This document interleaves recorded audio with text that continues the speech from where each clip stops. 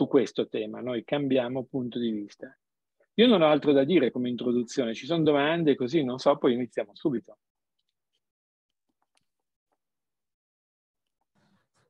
Cominciamo, va? Cominciamo, va bene. Allora, io eh, a questo punto condivido lo schermo.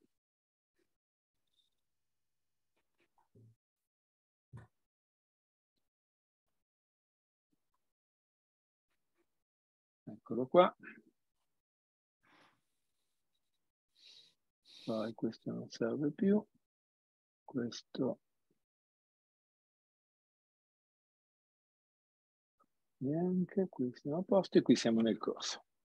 Allora, incominciamo pure a vedere come è strutturato il nostro corso. Prima di tutto avete le regole di ingaggio.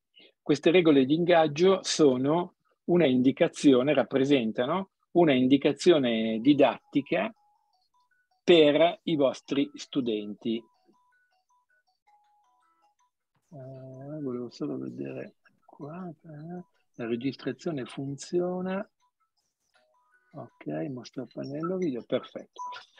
Eh, dunque questa è anche un'indicazione per i vostri studenti perché nel momento in cui noi parliamo di creatività e di bellezza, dobbiamo un po' ribaltare ehm, i concetti tradizionali con i quali ci approcciamo all'insegnamento. Quando noi insegniamo, prepariamo delle lezioni, trasmettiamo dei contenuti, badiamo molto, diciamo così, al risultato, all'efficacia che questa trasmissione può avere, no? a come i nostri studenti recepiscono.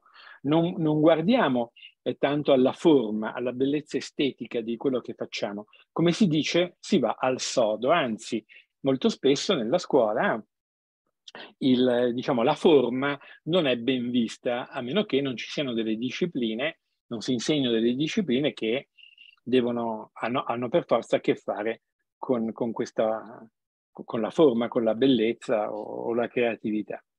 Allora, noi invece in questo corso vogliamo tenere in grandissima considerazione proprio l'aspetto estetico e vogliamo produrre delle belle cose e vogliamo fare in modo che i nostri studenti producano delle belle cose e quindi che ci sia un godimento in quello che si fa che sia al di là di un godimento intellettuale di comprensione di ciò che si è studiato.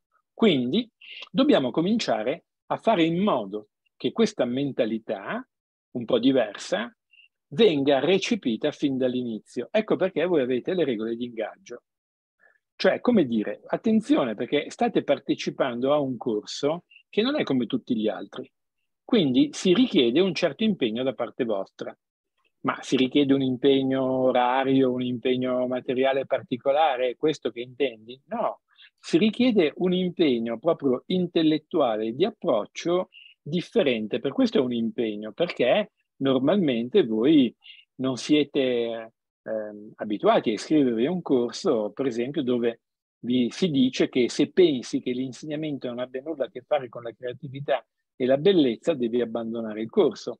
Oppure abbandoni il corso se negli ultimi 90 giorni hai detto guarda che non è un gioco, stiamo facendo una cosa seria, cioè se contrapponi il gioco alla serietà delle cose che fai, oppure se negli ultimi 90 giorni hai pensato che insegnare in presenza, a distanza, eccetera, voglia dire applicare delle procedure. Se pensi che l'insegnamento si riduca a delle procedure, hai sbagliato corso.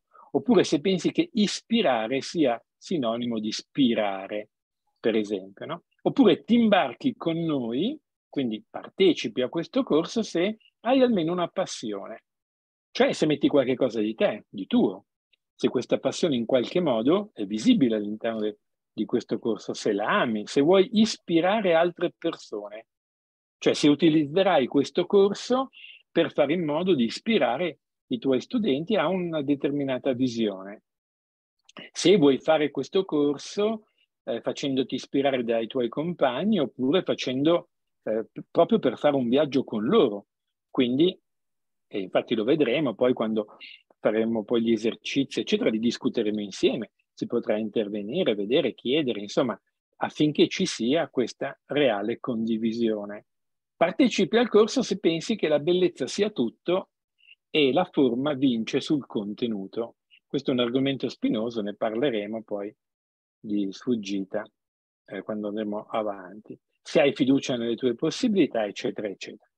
Allora, voi potete stabilire le regole di ingaggio che preferite. Perché? Siete voi gli insegnanti, sono vostri gli studenti, è vostra la disciplina che insegnate, quindi stabilirete voi in che modo accogliere i vostri studenti proponendogli delle regole di ingaggio, eh, accoglierli dove?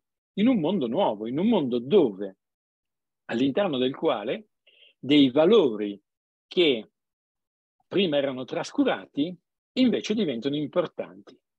Quindi, come dire, la prima regola, se vogliamo cambiare eh, veramente atteggiamento su un tema preciso, che è quello della bellezza e quindi della creatività, nella quale questo, questa tematica si iscrive, se vogliamo cambiare que- l'atteggiamento su questo tema, noi dobbiamo lavorare fin dall'inizio. Cioè, detto in altri termini, noi non possiamo svolgere tutta una serie di lezioni in modo estremamente tradizionale che vanno benissimo, eh, si prepara la lezione, si spiega, si fanno esercizi, eccetera, eccetera, e poi un bel giorno parlare della bellezza di quello che facciamo. No, perché la bellezza è qualcosa che noi dobbiamo seguire sempre, che dobbiamo curare, che do- è qualcosa che va, eh, sulla quale eh, l'occhio, l'intelligenza, la, nostra sensibilità vanno allenate. Deve esserci questo allenamento, questa, questa cura. Ecco il significato appunto delle regole di ingaggio che, voi, eh, che vi, ho, vi ho proposto eh, che voi avete dovuto accettare. L'accettazione di queste regole vi pone un problema perché vi fa pensare a quello che qui c'è scritto. Ed è esattamente questo stimolo a pensare a ciò che qui c'è scritto che dà valore a queste regole. E notate che queste regole non hanno niente di istituzionale, cioè non dicono eh, non puoi entrare a scuola cinque minuti dopo la campanella, eh, non tirare la cartella in testa al compagno, eh, disinfettati le mani quando entri in classe. Non c'entra niente con le regole istituzionali sono delle, è eh, un invito, è un invito a una riflessione su dei temi che normalmente non vengono affrontati. Io caldeggio questo approccio, quindi quello delle regole di ingaggio, ogni volta che voi vi trovate a organizzare eh, dei corsi, dei progetti, eh, un periodo di attività con i vostri allievi che in qualche modo non ha niente a che fare con una classica attività istituzionale. Allora, ehm, come dire, cristallizzate questa rottura in modo che venga assimilata. Bene, chiaro questo? Vedo che poi diversi avete scritto, naturalmente avete accettato le regole, è perfetto. Vi era stato chiaro questo, questo approccio fin dall'inizio? Sì, sì. Sì. Sì, bene, perfetto. Adesso vediamo invece il nostro tema. Il nostro tema. Quindi di cosa parliamo eh, in questo corso e cosa cominciamo a fare oggi e quindi anche i compiti preliminari. Li vediamo insieme e poi vediamo insieme anche il compito della giornata. Eh, dunque, in questi, in, queste, in questi incontri noi eh, ci occupiamo di tematiche, come avete visto, che riguardano la creatività, la bellezza, ma da quale punto di vista? Questa è la domanda. Allora, in primo luogo dal punto di vista dell'autore. E voi chiedete, ma chi è l'autore? Beh, l'autore siete voi. Voi siete gli autori dei contenuti che trasmettete ai vostri studenti o sui quali lavorate con i vostri studenti. Allo stesso tempo, gli studenti sono gli autori dei contenuti che a loro volta preparano. Quindi noi dobbiamo proprio cominciare a considerare che questo concetto di autore, di essere autori di qualche cosa, eh, è un concetto che va proprio assimilato. e deve diventare parte del vostro punto di vista.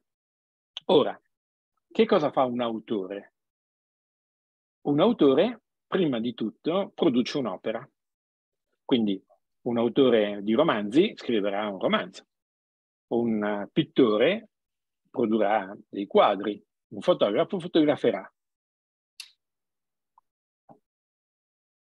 Che cosa distingue un autore da un altro collega che lavora nel suo stesso campo? Per esempio, tra due fotografi, tra due scrittori. Gli distingue lo stile. Lo stile è ciò che contraddistingue un autore da un altro. Allora, la prima riflessione che noi dobbiamo fare è proprio sullo stile. La domanda è, ma voi avete un vostro stile e siete consapevoli di avere un vostro stile? Ora, la risposta è sicuramente sì, voi avete un vostro stile. Un insegnante di matematica si distinguerà da un suo collega che insegna matematica un maestro elementare che si occupa delle materie umanistiche si distinguerà da un suo collega. Gli stili sono effettivamente diversi. Ma quanto voi siete consapevoli del vostro stile? Punto numero uno. Prima domanda. Quanto siete consapevoli del vostro stile? E seconda domanda. Quanto voi avete lavorato sulla rappresentazione del vostro stile? Per esempio, se io vi chiedessi, qui a, a voi 35 e 32 presenti, se avete un marchio che vi rappresenti, io non credo che voi avete un marchio che vi rappresenti, proprio un marchio, sapete, come Barilla, come eh, Chrysler, come Apple. C'è qualcuno di voi che ha un marchio che lo rappresenta? C'è qualcuno sì, di voi che... Io l'ho fatto cons- fare. No, tu, tu, tu hai un sì, marchio sì, ce l'ho. Ah, ce l'hai. Ce l'ho, lo uso nelle mie presentazioni, nei miei corsi, sì, sì. È fantastico questo, molto Sì. bene. Ce lo puoi far vedere poi? Sì, vediamo, aspetta che vado a recuperarlo da qualche parte. Sì, quando Intanto l'hai recuperato, esatto, vado avanti. esatto. Quando l'hai recuperato, poi... Bene, è fantastico questo. Ma normalmente un insegnante non ha un marchio. Non gli viene neanche lontanamente in mente che può essere rappresentato attraverso un marchio. Ma che cos'è un marchio? Un marchio è un simbolo che rappresenta lo stile di una persona. Ma avere un marchio significa che poi se scrivi una lettera devi usare un determinato font, determinati colori, una determinata impaginazione. Se prepari una lezione, lo farai attraverso un determinato stile. Questo stile viene codificato, è lo stile che rappresenta quell'insegnante. Ora, nessun insegnante fa questo. Combinazione, incredibilmente, ne abbiamo Eh, una qui che, sono, che ha fatto ci proprio sono quando Sì, vuoi. sì. Dimmi, dimmi, allora, eh, tu chi sei intanto? Allora, mi chiamo Sabina Moscatelli, quindi se vuoi Sabina. vederlo te lo faccio vedere. Certo, allora, guarda, condi- vediamo se... eh, Condivido io? vuoi- Condividi, certo, condividi, condividi e fai vedere il tuo marchio. Adesso Io mi vergogno un po', eh, perché magari è una No, no, no, però. non c'è da vergognarsi, tu sei, Toh, questo qua, sei un caso rarissimo. Dunque, questo qua, ah, vedi? questo. SM, perché tu sei... Sabina Moscatelli. Sabina Moscatelli, la teacher Sì. digitale. Dunque, tu che cosa insegni intanto? Inglese. Insegni inglese. Allora, intanto noi abbiamo una collega che non insegna grafica, arte, No, eh, comunicazione visiva, per cui sarebbe stato, avrebbe avuto un marchio perché magari avrebbe svolto dei lavori no, fuori da scuola e quindi come professionista si eh sarebbe... no, come professionista faccio tutt'altro, mi occupo sempre di linguistica. Esatto, ti occupi di tutt'altro. Allora, ci dici com'è nata l'idea di avere un tuo marchio? Perché, mh, e come dici tu, altrimenti, cioè io avevo bisogno di qualcosa che mi connotasse, che mi caratterizzasse, che fossi io e non un'altra. Volevo, non so, una comunicazione, se vuoi, abbreviata, semplificata, che è quella di un marchietto, di un logo che avesse ehm, dei colori, per me un significato. Assieme a questo eh, c'è anche, adesso qua non so se si vede, dovrei Sì. avere anche eh, il, l'emoji con, che ho realizzato con la mia faccina e alcuni dettagli che mi caratterizzano, tipo un pendaglietto che porto sempre che ha questi fiorellini qua. Mm, i, mm, i sakura giapponesi. Eh, e quindi niente, ho deciso di farlo per quello, perché volevo che anche i materiali in classe, ripeto, oltre che nella professione o nell'attività di formatore, avessero una nota personale. Perfetto, che fosse veloce, personale. ecco, un linguaggio che do- non dovessi stare a spiegare, che si capiva, ecco. Bene, benissimo. È fantastica questa cosa, perché qui eh, mai avrei creduto di poter aprire il corso in questo modo, perché proprio spiani la strada eh, alla grande. Allora, lei dice, dice che mh, voleva in qualche modo essere riconosciuta, eh, distinguersi. Beh, certo, voi pensate eh, che uno studente può avere anche una dozzina di insegnanti, eh, forse anche di più se mettiamo insieme tutta una serie di progetti anche extrascolastici, eccetera. frequenta la scuola per tanto tempo, ha un'impressione molto istituzionale, perché è un'istituzione la scuola, quindi non potrebbe essere differente, e nella quale un po' tutto viene omologato no? eh, in, attraverso un tono medio, cioè non troppo eccessivo da una parte neanche dall'altra. E, ehm, ora invece abbiamo un soggetto che vuole uscire da questo schema. Prima di tutto perché dice io sono io, sono un essere vivente, una persona che in qualche modo deve essere vista come qualcosa di diverso. Allora, voi pensate che cosa vuol dire, per esempio, l'inclusione senza sostenere la diversità? Non può esserci inclusione nella omologazione, perché l'omologazione è il contrario dell'inclusione. L'inclusione può esistere solo nel momento in cui noi abbiamo a che fare con soggetti realmente diversi. Quindi può essere un paradosso, ma la prima cosa che dobbiamo fare è sostenere questa diversità, la diversità degli insegnanti e la diversità degli studenti.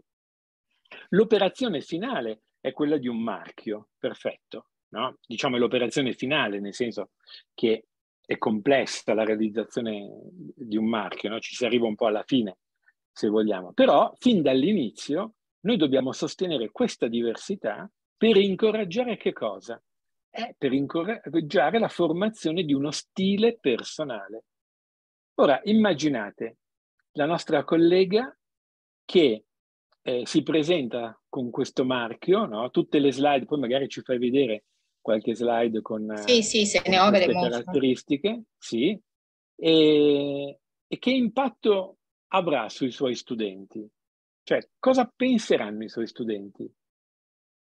Beh, ve lo dico io cosa penseranno. I suoi studenti penseranno che questa è una buona idea e che magari anch'io, studente, potrei eh, caratterizzarmi nello stesso modo. Anch'io potrei, in questo mondo grigio omologato, emergere, se non altro attraverso una distinzione. Apriamo due minuti di chiacchierata su questo tema.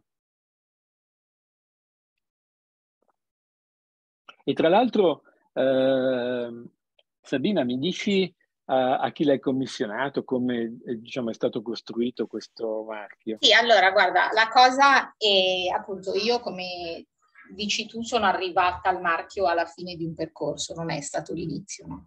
Quando cominciato così un po' a, a man- io sono stata sempre un'appassionata di tecnologia, quando ho cominciato a, a masticarne un po' di più, insomma, ho capito che eh, volevo così personalizzare ulteriormente. Ho avuto la fortuna di lavorare, io insegno al liceo, eh, di mm. lavorare anche in un liceo artistico e quindi ho chiesto spessissimo, io chiedo ai miei ragazzi dell'artistico di darmi una mano.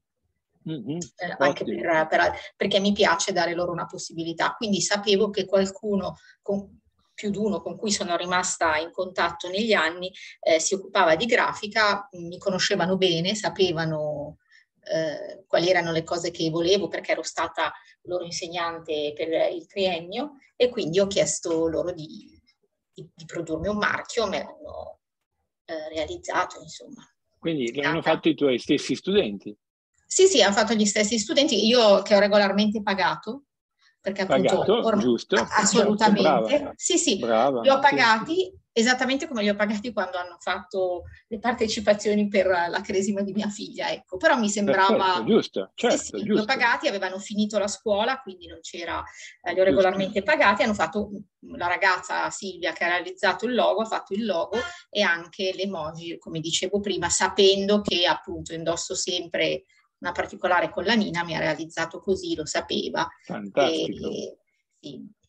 e niente, la ecco, cosa era... Il fatto che sapesse che tu che tu indossi una collanina, no? questa, mh, questa osservazione, è, il frutto anche di un rapporto personale interessante. Sì, sì, cioè, assolutamente. No?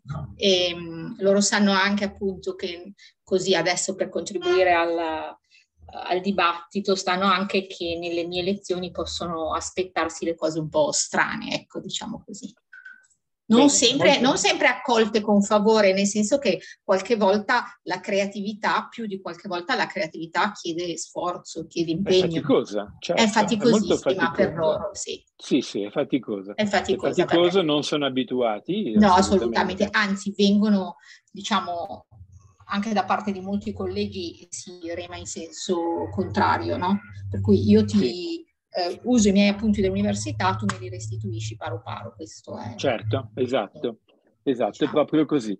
È un uscire dagli, dagli schemi che non esatto. è semplice. Non no, è no, è molto faticoso, non tutti ottengono all'inizio risultati, diciamo, clamorosi, però alla fine, insomma, cose belle se ne sono fatte. Poi sì, ci sono anche che... i lati negativi. Senti, insomma. un'ultima cosa, eh, quali sono le tue considerazioni sul fatto che eh, hai continuato ad utilizzare questo metodo, cioè che mh, mm, quali sono i, vorrei dire i risultati, ma i risultati sembrano una cosa troppo schematica, no? Diciamo che cosa ti ha convinto poi a non abbandonare il tuo marchio, andare avanti anche, anche se la creatività appunto è complicata? Perché ritengo che non so, mi sembra che questo modo di fare stabilisca fondamentalmente anche dei rapporti più liberi e più profondi con gli studenti, da loro degli strumenti come quello della creatività che serviranno, sono delle vere competenze che serviranno, al di là del, dell'inglese, che serviranno per tutta la vita. E poi c'è il fatto sostanzialmente che io sono così, cioè questa sono un po' io, questo è il mio eh, modo di insegnare e di intendere l'insegnamento, che per me è anche una, un'autentica passione, la sperimentazione che si fa insieme eh, con i ragazzi, sono al di là del fatto che poi si partecipi a un progetto, che il dirigente dica che sei stato innovativo, questo a me mm, non sì, interessa certo. proprio, direi neanche marginalmente, però mi è sembrato che appunto com- complessivamente eh, ci fossero de- degli esiti, pos- dei ritorni molto positivi, anche solo, ripeto, in termini di rapporti. E in questi ultimi due o tre anni i rapporti hanno fatto la differenza, secondo me. Allora, i rapporti hanno fatto la differenza, un'affermazione mh, molto importante, a mio parere, e, ed estremamente importante è quando tu hai detto perché io sono così. Io sono così è proprio, come dire, una regola da assumere. Io sono così. Non perché eh, è qualcosa di narcisistico che non ammette discussioni. No, no assolutamente, no, no, no, no, non l'ho intesa in questo senso. Eh, no, certo, chiaramente, ma perché io come soggetto esisto, ci sono. Esatto. Allora, se esisto io, esisti anche tu.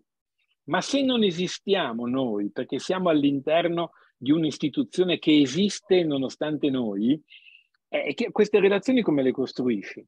La tua personalità come viene fuori? Come potrai aff- affermare eh, il tuo modo di essere, il tuo stile, eccetera, nella vita? Non lo potrai fare. Giusto? Interpreto bene? Sì, sì, esatto, esatto. Scusami, non riuscivo a far ripartire. Sì, sì, ok. Va bene, perfetto. Allora, eh, c'è qualcuno che vuole intervenire un attimo su questo tema? inaspettato ma assolutamente importante e ci ha, tra l'altro, ci ha permesso di affrontare questa questione in modo molto io noto moltissimo eh. l'urgenza eh. negli studenti del marchio, che purtroppo viene un po' appiattito sul, su, sui, sui, profili social, esempio c'è, c'è questa voglia fortissima di voler di volersi di identificare attraverso l'immagine del profilo. Può, può essere una buona, come dire, anticamera di questo discorso da condividere con i ragazzi, secondo me, da approfondire in questo senso, anche se sono cose un po' diverse forse. Ecco, no, mi viene da dire che che i profili social, diciamo, sono molto stereotipati e non c'è una vera e propria elaborazione di un marchio, perché eh, appunto, ricorda appunto. quello che ha detto Sabina, il marchio, la rappresentazione di te parte dagli elementi che ti appartengono, una collana, i colori, no? quindi ci va una conoscenza. Della, quando si crea un marchio eh, ci sono dei colloqui, dei colloqui con l'azienda, dei colloqui con il professionista che ha bisogno del marchio. Attraverso questi colloqui si cerca di capire la persona o l'azienda, l'attività lavorativa, eccetera, con la quale si ha a che fare. Per fare che cosa? Per ricavarne l'intim- l'intima essenza, cioè quello che tu non vedi ma che fonda realmente il, il contenuto e la particolarità del soggetto o dell'impresa con la quale tu hai a che fare. E invece la rappresentazione sociale è radicalmente diversa.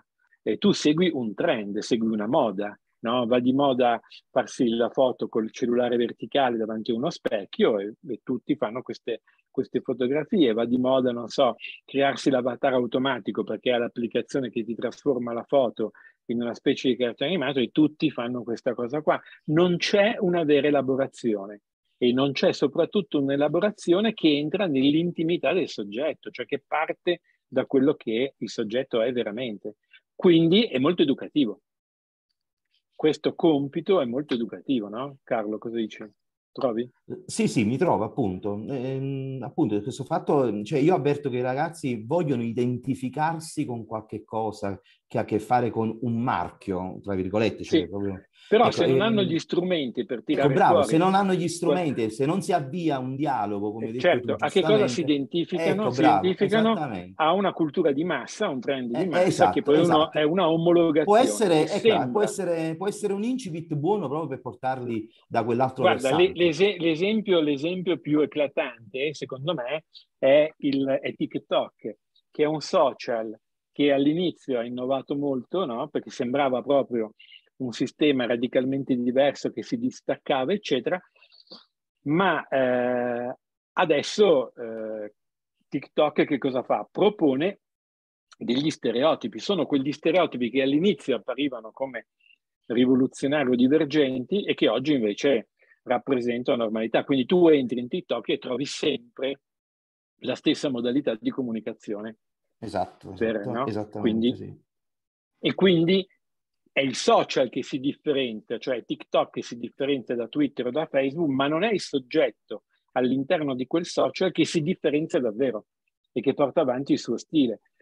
Cioè è il social che assorbe lo stile e la personalità del soggetto e non permette al soggetto di, di tirarsi fuori. Questo è anche un bel discorso da fare, è molto interessante. Bene, dire se non ci sono altre osservazioni possiamo andare avanti allora. Cosa dite? Proseguiamo? Per me ok. Sì, perfetto. Allora, Sabina, grazie. Poi quando avrai delle, le tue slide così te le tieni lì perché al momento opportuno poi facciamo sì, sì perché io invece sono in, sono in, vacanza e quindi sì, non ho tutto certo. dietro. Non hai tutto dietro, è chiaro, è chiaro. Sono in vacanza anch'io, eh? ciao a tutti, molti anche qua sono in vacanza. Allora, continuiamo, eh, vediamo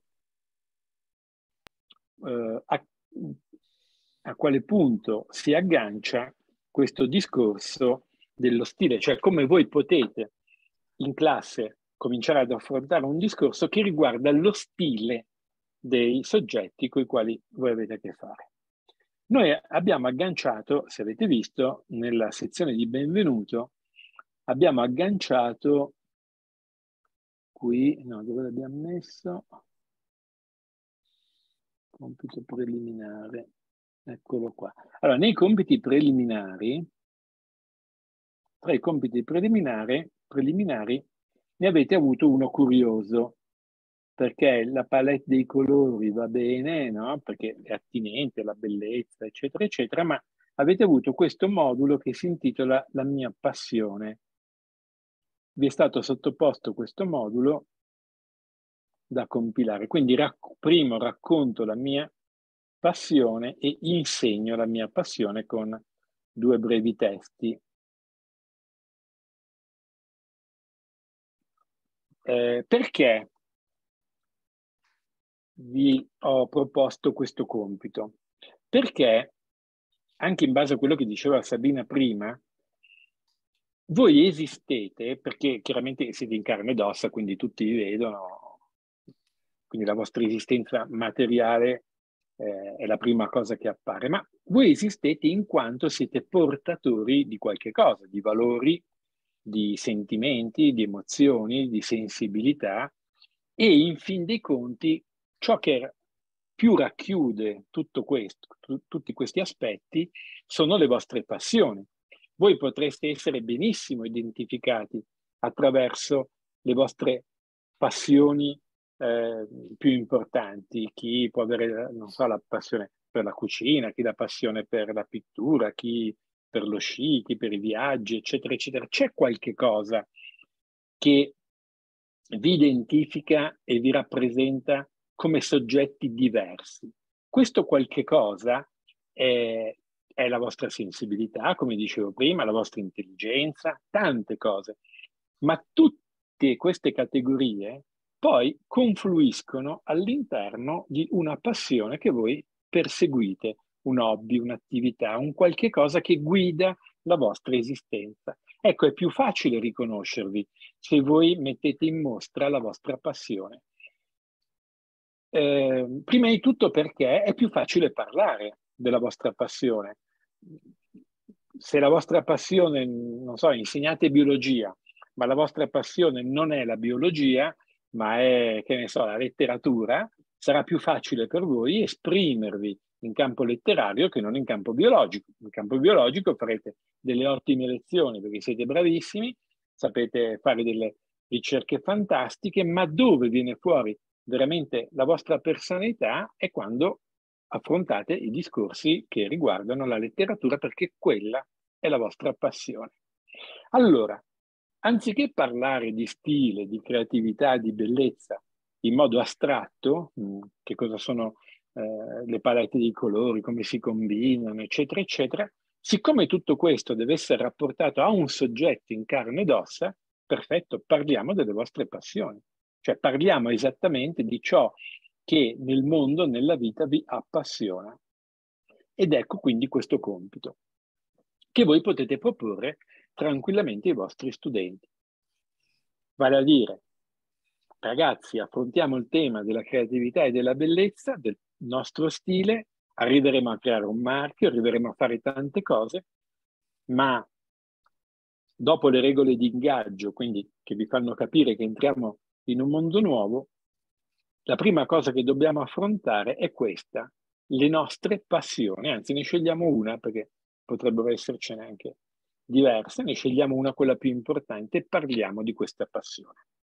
Ora però come si può parlare di questa passione? Beh, vi trovate con gli amici, raccontate, par- normalmente parlate della vostra passione a persone che sono interessate a questa passione, vi ascoltano volentieri, o ad altri soggetti che condividono la vostra stessa passione.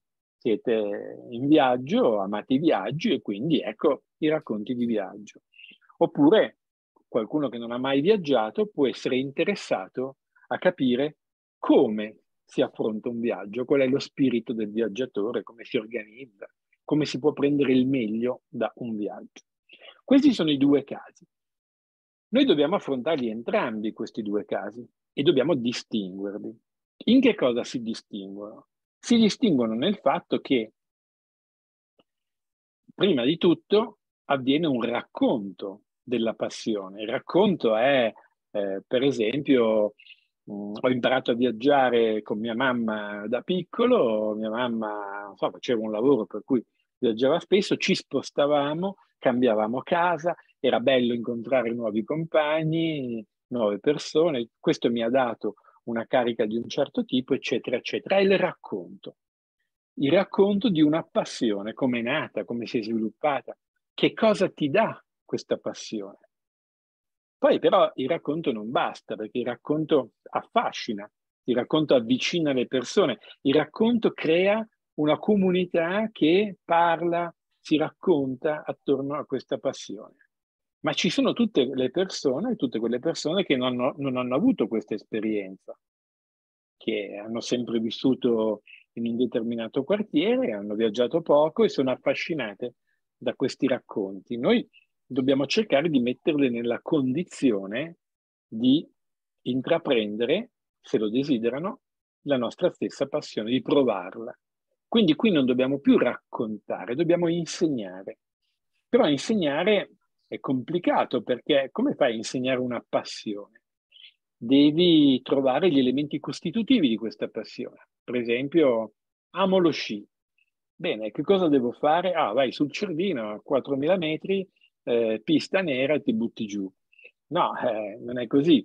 Eh, non puoi andare a sciare con eh, degli ossessivi dello sci perché dopo una giornata con loro sei ridotto a uno straccio. Quindi devi cercare di metterti nei panni di una persona che deve compiere i primi passi affinché non impari questa passione. Attenzione, perché non è, è un insegnamento non insegnamento, non deve imparare questa passione, ma deve essere, deve potersi avvicinare, provarla per capire se questa passione potrebbe un domani essere anche la sua.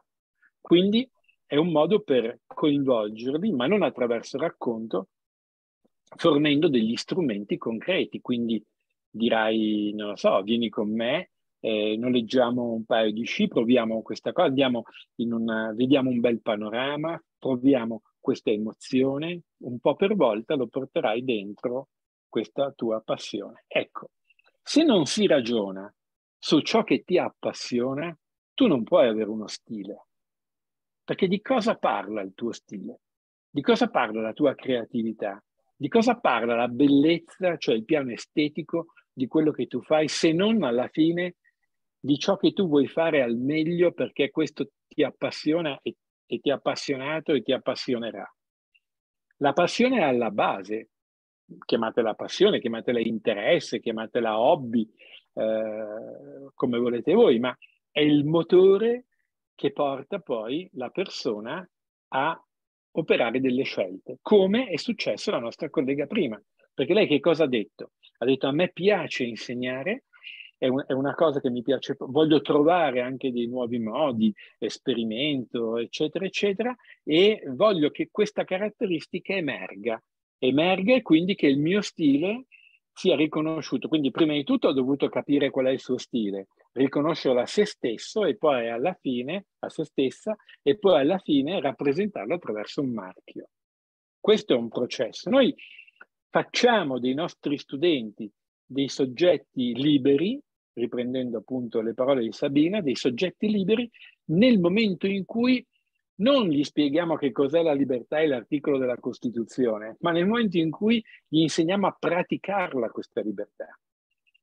E, ma praticarla a partire da che cosa? A partire dal proprio interesse, dalla propria passione.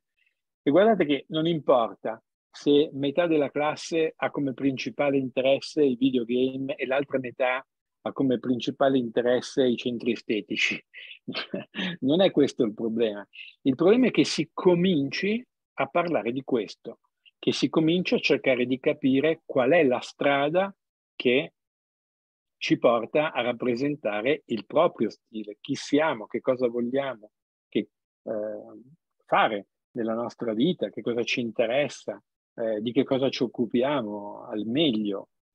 Eh, e quindi ecco perché vi ho proposto questo compito che è molto importante e che penso che magari sia stato un po' sottovalutato all'inizio, no? Perché uno dice, ma che cosa, che cosa può centrare questo con il corso che stiamo facendo? Beh, c'entra perché la prima cosa che io vi chiedo è di riflettere su chi voi siete, quali sono le passioni che vi guidano e quindi trovare, per esempio, come eh, è spiegato nel primo compito, trovare, per esempio, i colori che possono rappresentare questa passione.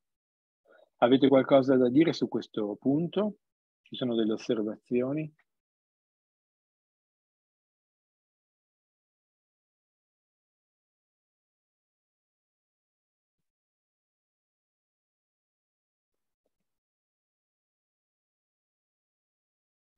Allora, il primo è il compito preliminare che io adesso non replico perché ce l'avete qui, la, avete qui la spiegazione. Il compito preliminare dice questo, scegliete una fotografia che rappresenti la vostra passione. Per esempio, appunto, amate lo sci, ci sarà una, sarà una fotografia di montagna o qualcosa del genere, no? che la rappresenti o che vi ispira in modo particolare. Non per la composizione, ma neppure per le immagini, solo ed esclusivamente per i colori. La prima cosa che facciamo è dare un colore alla vostra passione. Questo significa, che cosa significa in termini di, di un proprio stile? Significa che eh, quando noi creiamo dei modelli, quindi modelli per eh, produrre dei documenti, ehm, scritti con immagini, slide, eccetera, eccetera, eh, una delle questioni che dobbiamo affrontare è quali colori noi utilizziamo all'interno di questi modelli. I colori non sono mai una scelta casuale, eh, non, non, possono essere scelti perché, non so, mi piace il blu, mi piace il viola, eh, li mescolo, uso, faccio delle prove, uso nei titoli questo, poi eh, uso un altro colore, eccetera. Ma eh, questi colori devono avere una coerenza. Ora, nel mondo del design, della grafica, dell'illustrazione, eh, ci sono una serie di modalità che stabiliscono appunto queste coerenze perché ci sono colori primari, secondari, il modo con cui questi colori si combinano tra loro, eccetera. Ma noi che partiamo invece da una rappresentazione della soggettività, pensiamo a quali sono i colori che possono rappresentare la nostra passione. Perché? Perché quei colori sono colori a noi familiari, sono colori che non ci disturberanno mai, di cui non ci stuferemo mai, perché sono i colori proprio della nostra passione. Allora ecco che cosa vi ho chiesto. Vi ho chiesto di scegliere una fotografia, non necessariamente una fotografia che fate voi, una fotografia che potete trovare eh, e che utilizzate per ricavare i colori, catturare i colori. Non ci interessano le inquadrature di montagne, mare, eccetera, ci interessa proprio questa gamma, questa sfumatura di colori. E che cosa fate con questa fotografia? Questa fotografia la importate in un'applicazione, un'applicazione cloud, quindi la possono utilizzare tutti, che si chiama Adobe Color e che è a disposizione di tutti coloro che la vogliono utilizzare. È un'applicazione interessantissima che voi potete chiaramente impiegare in classe. La possiamo vedere un attimo, però ripeto, non faccio tutta la procedura qui perché si trattava di un compito preliminare anche abbastanza semplice. Trascinare qui il file della, della fotografia che avete scelto.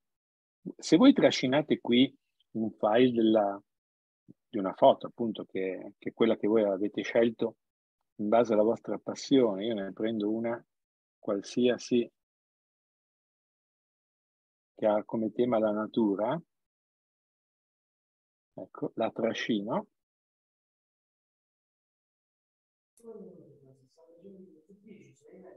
Credo che era un video, Alberto. Ah, ero, ah sì, giusto, hai ragione. Bravo, ma che occhio che hai. Questo non è un video.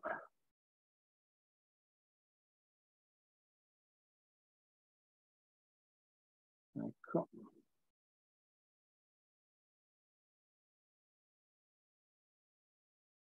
Ecco, guardate che cosa fa questa applicazione. Individua i colori dominanti all'interno di questa fotografia. Voi potete spostare questi, questi evidenziatori per cercare la sfumatura di colore che più vi piace, oppure per cambiarla, per esempio in questo caso puntate al tetto arancione di quell'abitazione. Oppure volete un blu meno intenso oppure più intenso, la aggiustate. Che cosa avete ricavato? Avete ricavato una palette di colori, cioè una serie di colori che stanno bene insieme, e stanno bene insieme non perché l'ha deciso qualcuno, ma perché l'ha deciso la, la natura, noi ci ispiriamo in tutto ciò che riguarda la bellezza, quindi colori, composizioni, forme, eccetera, eccetera, ci si ispira sempre alla natura. Quindi qualche cosa che appare come equilibrato da un punto di vista naturale è anche equilibrato eh, con un prodotto artificiale. Allora, ecco che voi avete una base per stabilire qual è la vostra palette. Che cosa fate? Beh, prima di tutto fate una foto dello schermo, così vi ricordate esattamente quali sono questi colori, ma la cosa più importante è prendere nota di questi numeri, di queste sigle. Questi sono dei codici, si chiamano codici esadecimali. Ogni colore, ogni sfumatura di colore è identificata da un codice esadecimale che noi possiamo utilizzare in qualsiasi documento e in qualsiasi applicazione per riprodurre esattamente questo colore. Perché dobbiamo riprodurre esattamente, per esempio, questo arancione, che è un F59777? Perché? Perché riproduciamo esattamente questo codice esadecimale e non utilizziamo il termine arancione e tutte le volte che dobbiamo creare una composizione, una lezione, un documento, scegliamo poi un colore arancione. Perché noi, se face- operassimo in questo modo, non riprodurremmo mai esattamente di volta in volta lo stesso colore in ogni documento o anche all'interno di uno stesso documento. E quindi non rappresenteremmo in modo coerente la nostra scelta. Questa nostra scelta non apparirebbe come una bella scelta, ma apparirebbe come una scelta confusionaria. Per esempio, consideriamo che il colore, noi stiamo lavorando su questo colore, vedete? È il primo qui a sinistra.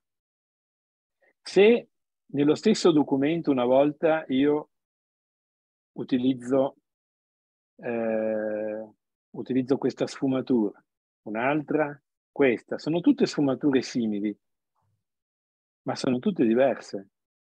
Sono tutte simili, guardate come cambia, ma tutte diverse, cioè stiamo all'interno di una stessa area, se vogliamo noi, vogliamo, ma sono tutte diverse.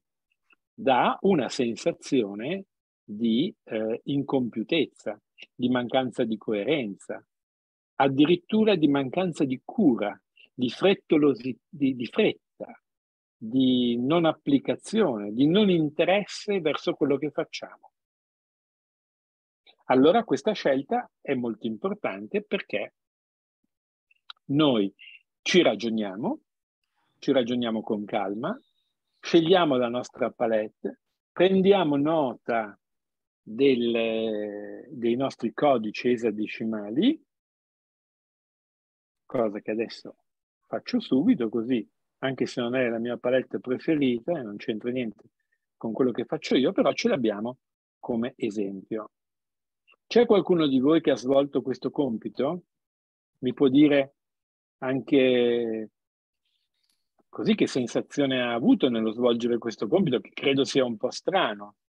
No, no, eh, io Certamente. Ho, lo, lo, siccome, ripeto, io ho visto solo ieri la mail, quindi non avevo avuto il tempo di svolgere le esercitazioni, però adesso mentre lei parlava io sono andata ad aprire e ho aperto proprio questo ed ho inserito una foto, insomma, eh, che avevo fatto qualche giorno fa. Io insegno arte e quindi sì era la facciata del Duomo, una, insomma, una foto del Duomo di Orvieto e quindi mi sono uscite tutte le palette. È una cosa bellissima questa, cioè che ti estrapola sì, tutti i colori che giustamente formano un insieme omogeneo, quindi tra di loro ed è una cosa interessantissima perché adesso già pensavo eh, insomma, ai ragazzi all'inizio del, dell'anno, insomma, soprattutto quelli magari di terza che sono un po' più, più grandicelli, insomma, proporre una cosa del genere. Siccome abbiamo anche la stampante 3D, già pensavo al logo stampato in 3D con i colori, già stavo andando, stavo viaggiando. Sì, eh beh, siamo qua per viaggiare, eh, per stimolare dei, no, è una cosa davvero, non, non sapevo che esistesse una cosa del genere, ma è davvero bella, mm. davvero interessante. Allora, pensate anche a come potete far ragionare gli studenti sulla bellezza della loro palette, eh, giustificarla, per esempio. No? Cosa vuol dire giustificarla? Se voi eh, considerate sempre questo esercizio preliminare, provate a prendere questa, eh, questa infografica, la vedete? Color Emotion. Eh? Penso che la vediate, no? Color Emotion.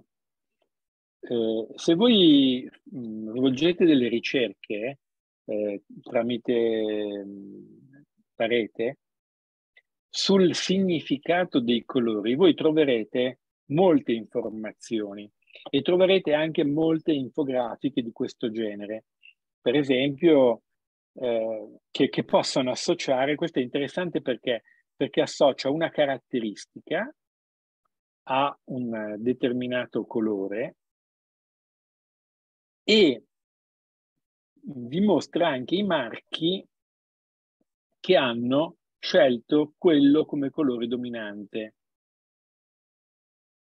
Qui siamo nel campo dell'ottimismo, vedete? A cui è associato un determinato colore e determinati marchi hanno scelto proprio questo, questo colore che ha un significato preciso. Quindi potete avviare con i vostri allievi una serie di attività che riguarda proprio la rappresentazione della loro passione, quindi anche della loro personalità, attraverso determinati colori. E potete fare in classe dei giochi eh, per cui potete proporre una palette e un gruppo di persone, no? immaginate una palette di colori, eh, dove era questa? Una, questa palette di colori, no? Poi sotto proponete i nomi di quattro studenti e questa paletta appartiene solo a uno, ovviamente, di questi quattro studenti e bisogna individuare qual è, qual è, qual è lo studente che si riconosce in questa palette è uno strumento di conoscenza reciproca, fatto non attraverso il solito modo, no? chi sei, da dove vengo, eccetera, ma fatto attraverso qualche cosa che ti tocca più da vicino, nella tua intimità, nella tua espressione di te.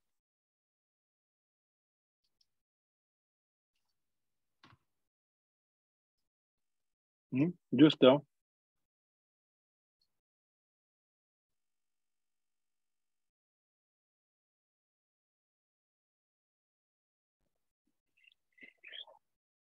Dunque, uno, sono i due compiti preliminari che io vi invito veramente a svolgere, a svolgere mm, anche per la prossima volta. E, mm, e poi questi compiti li vedremo perché li avete poi consegnati e quindi possiamo poi ritornarci su in qualsiasi momento. Adesso vediamo invece le attività che cominciamo a svolgere in diretta a partire da questo incontro. Uh, per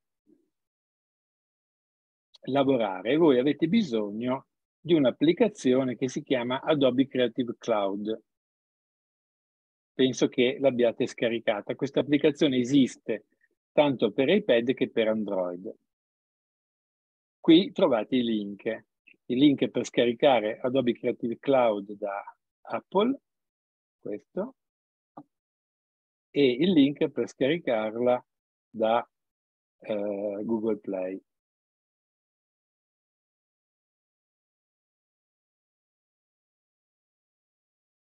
E vediamo il compito di oggi. Abbiamo parlato quindi di colori, di passioni, stili, abbiamo anche visto dove poi a un certo punto bisognerà arrivare, che è l'elaborazione di un marchio.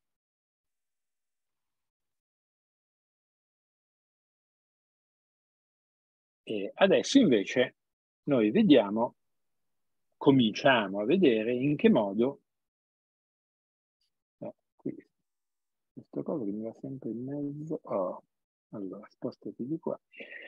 Eh, dunque, cominciamo a vedere come il vostro stile può essere rappresentato. Può essere rappresentato prima di tutto attraverso i documenti che voi preparate. I primi documenti che un soggetto prepara, l'insegnante o no, naturalmente è in foglio all'interno del quale scrive, no? Riguarda la scrittura. E quindi ci occupiamo proprio di questo. Dobbiamo creare uno stile di impaginazione ufficiale, uno stile che vi rappresenti quando voi scrivete un documento, in modo che si riconosca che quel documento è proprio il frutto di una vostra elaborazione e tutti i documenti a seguire saranno esattamente strutturati allo stesso modo. Io qua scrivo, d'ora in poi non userete mai più nessuna applicazione di videoscrittura senza utilizzare gli stili. Adesso vedremo di che cosa si tratta e come si utilizzino. Non andrete a capo due o tre volte per lasciare uno spazio, sceglierete i rientri, i rientri le dimensioni dei font e il tipo di font una volta per tutte.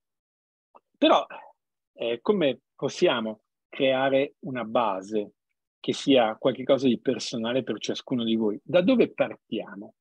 Allora, guardate, la prima cosa che dovete fare è stabilire quali sono i font che vi rappresentano. I font sono quelli che a volte vengono definiti come caratteri, proprio come questi, come, come questi che eh, qui all'interno di GUR non permette una scelta, no? E quindi abbiamo un solo tipo di font, probabilmente un Arial, qualcosa del genere, voi dovete scegliere questi font. Quindi quando aprite un'applicazione di videoscrittura, non so se voi siete stati portati a ragionare su quali font aprire, per esempio,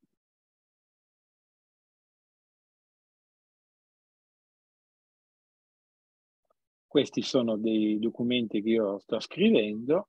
Bene, questo con Pages, potete usare Pages, Word, quello che vi pare. Qui, sulla destra, voi trovate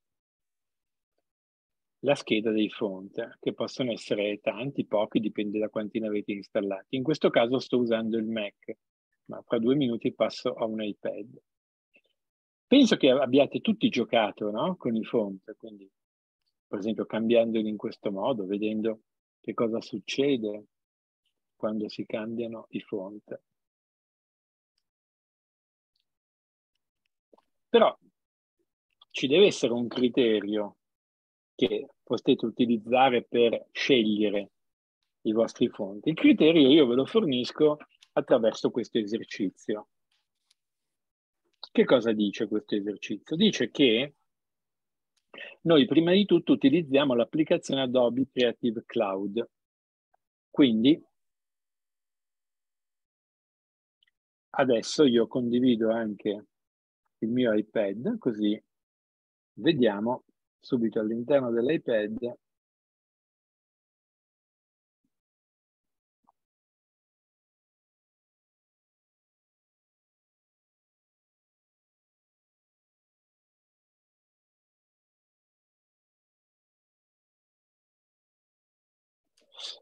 Ecco, vediamo subito all'interno dell'iPad che cosa questa applicazione ci consente di fare. E mettiamo il nostro compito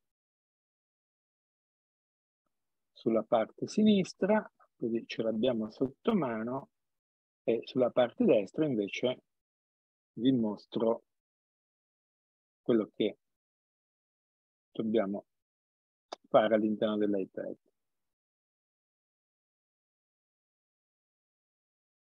Allora, per prima cosa abbiamo detto, utilizziamo l'applicazione Adobe Creative Cloud.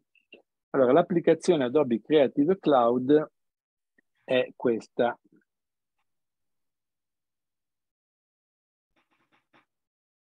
Questa qua.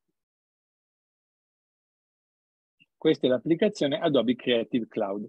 Come andarla a prendere? L'abbiamo spiegato anche prima. Avevate avuto nell'altro modulo che vi ho erogato, avete i link per scaricarla sia da versione Apple che versione Android. Che cosa fa questa applicazione? Intanto fa un sacco di cose che servono per la nostra creatività e bellezza. In questo caso, nella fattispecie, ne fa una che consiste nel installare dei font all'interno del nostro iPad. E un, Quindi, un equivalente per PC di questa... C'è qualcosa Per PC? Di... Non lo so, non saprei dir- dirtelo. Eh, per ah beh no, per PC se tu vuoi installare dei font per PC eh, fai una ricerca attraverso Google, cerchi Google Font. Ah ok cerchi Google Font e lì puoi scaricare dei font per il tuo PC. Questo vale anche per il Mac, se uno desidera, può fare una ricerca, ricerca Google Font e scarica okay. dei font per. Ma quale criterio? Allora, prima di tutto siamo nel, in questa applicazione, d'accordo? Nella home dell'applicazione, vedete? Siamo nella home dell'applicazione. Sulla sinistra avete la sezione font. Mi seguite? Riuscite a seguirmi? Datemi un feedback. Sì, sì. Sì? Ok, allora la sezione fonte che cosa vi propone? Vi propone dei font a pagamento e dei font gratuiti. Guardate che i font, vi ricordate quello che diceva Sabina prima? Lei ha retribuito i suoi allievi per la realizzazione di un marchio. Estremamente corretto è un lavoro, la creazione di font è un lavoro. Vi ricordo che Steve Jobs è stato il creativo che è stato da un punto di vista informatico, se vogliamo, no? ha inventato quello che ha inventato, ma eh, la sua creatività, perché la sua creatività nasce proprio dalla costruzione di font. Lo sapete che uno degli hobby di Steve Jobs, se non quello più importante, era proprio quello di elaborare dei font, di concepirli, di disegnarli Ecco perché il Mac poi ha avuto sempre questa grande attenzione verso la grafica e la rappresentazione della, della forma attraverso la quale i prodotti venivano costruiti ed erogati. Quindi è giusto comprare dei fonti nel momento in cui voi dite ma il fonte che mi rappresenta, che proprio del quale non posso fare a meno è questo che si chiama XY, eh, lo compro, lo compro perché eh, rappresenta, è il lavoro di qualcuno che vi rappresenta. Allora, siamo nella sezione font. Che cosa dice? Che cosa dicono le indicazioni che, che, vi, ho, che vi ho dato? E che sono delle indicazioni che voi potete tranquillamente utilizzare per i vostri studenti, quindi riproponendo pari pari quello che state facendo qui con me, lo potete rifare per conto vostro per arrivare ai vostri risultati, ma anche proporlo proprio in classe come progetto esattamente nella successione che qui vi illustro. Allora, voi dovete cercare due font, due, non di più. Perché due e non tanti? Abbiamo centinaia di font a disposizione, perché ne devo scegliere due? Per alcuni motivi. Eh, un motivo riguarda la comunicazione visuale. Non si usano mai più di tre font all'interno di uno stesso documento. Però noi riduciamo a due, questo mai, lo riduciamo a due perché? Perché in realtà ogni font è composto da una famiglia e le famiglie di font eh, sono composte da delle variazioni che rappresentano eh, tutta una serie di, di grafiche differenti. E quindi, quando, perché? Perché abbiamo il bold, abbiamo il black, abbiamo, eh, non so, il corsivo, abbiamo, abbiamo dentro, all'interno di un font, questo font è una famiglia in realtà che rappresenta tutta una serie di variazioni. Quindi noi non possiamo utilizzare troppe variazioni all'interno di un documento perché creiamo confusione nel lettore. Quindi restringiamo l'indicazione classica di non utilizzare più di tre fonti a due, due fonti. Secondo quali regole? Allora, seguite con attenzione, i fonti devono avere queste caratteristiche. Entrambi devono appartenere a una famiglia molto varia, che vada almeno dal pink light, per esempio, fino al black. Vedi lo screenshot. Quindi qui abbiamo uno screenshot.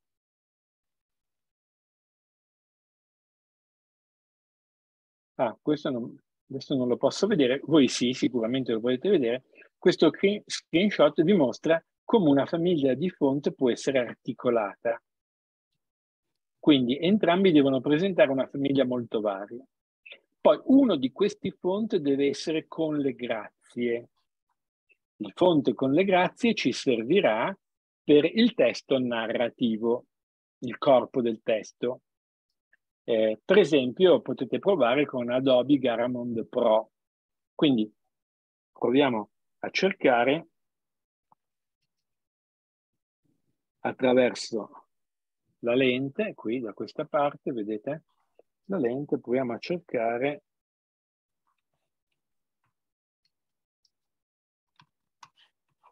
Adobe Garamond. Abbiamo trovato Adobe Garamond Pro.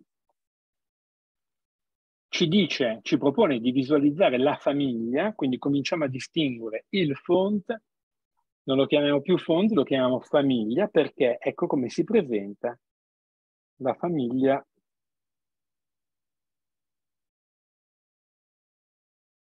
di Adobe Garamond Pro. È sempre lo stesso font, ma viene rappresentato graficamente in modi diversi, molto diversi. Per esempio, questo bold Questo bold è molto diverso da questo italic. Tra l'altro, che cosa avete notato? Che all'interno di questa famiglia abbiamo già un carattere corsivo, cioè non è necessario, come normalmente voi fate quando scrivete un documento, di, sottoli- di evidenziare tutto un periodo e poi attribuire il, eh, la forma corsiva al paragrafo che avete evidenziato, perché i font più completi, diciamo veri, veri font completi, quindi articolati attorno a delle famiglie, presentano già queste variazioni. Per esempio abbiamo un semi-bold, un semi-bold che è una cosa italic, che è una cosa molto diversa dal selezionare un paragrafo, per esempio selezioniamo questo paragrafo e poi gli attribuiamo il carattere italico eh, che io sto facendo perché è una variante che mi viene proposta da Google, posso anche trasformarlo in un bold, per esempio, però un bold non è un semi-bold. E questo italico non è stato disegnato per questa famiglia di fonte, è stato applicato sopra, sopra il corpo normale. Quindi è qualcosa di appiccicato al carattere, non è qualcosa che è stato elaborato da chi ha creato questo carattere, che ha proprio disegnato eh, la forma italica che deve assumere. Allora, ecco il primo ragionamento che eh, facciamo.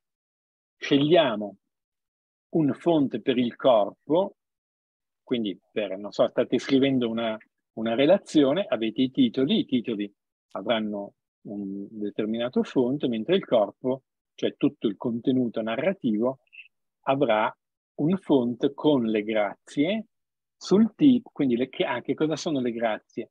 Le grazie sono questi eh, elementi grafici, vedete, che allungano un po', vediamo se riesco a ingrandire, ecco, che eh, sono degli ornamenti, degli ornamenti che abbelliscono, guardate la X, no?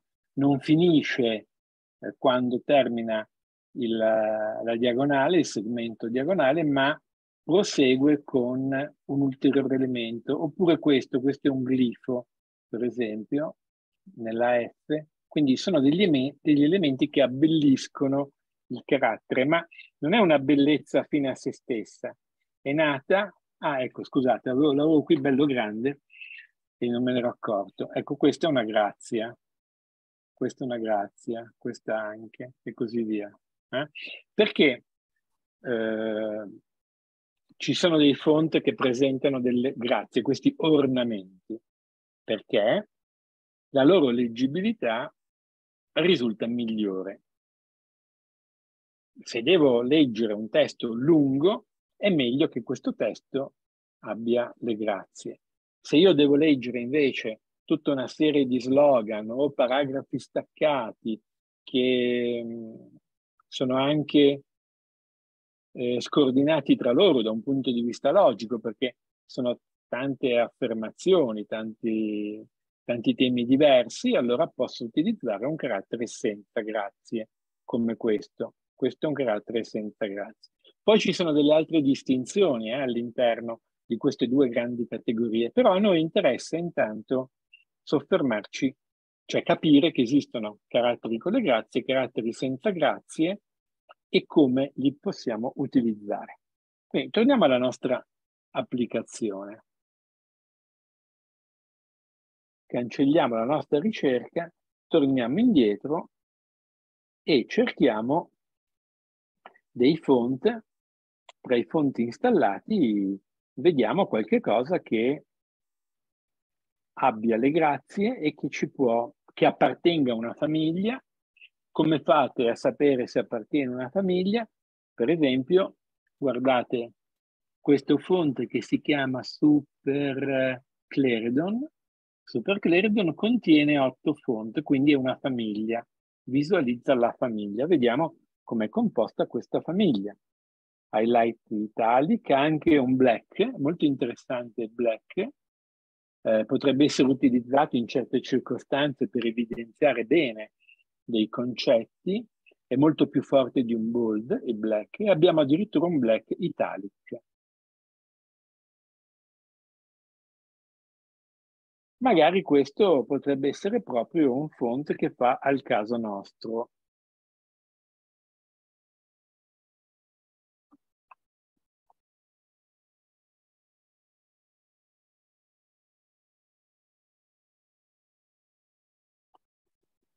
Poteva, potete anche scrivere una frase, eccolo qua dov'è, sì, qui, in questa icona qua in alto a sinistra, fate un tap, potete scrivere una frase, per esempio così,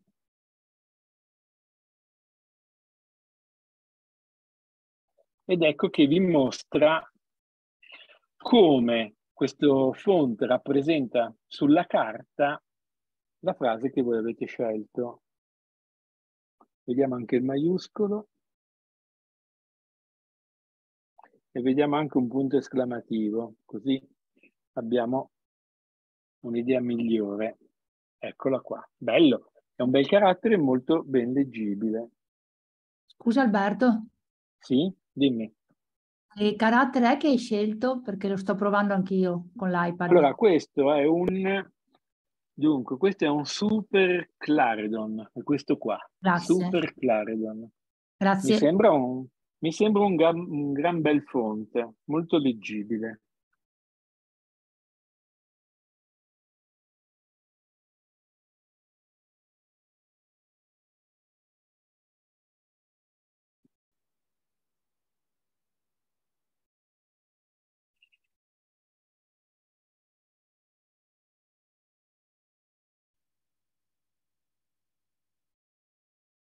Se avete scelto, adesso fate qualche prova, no? cercate un font con le grazie che vi piace.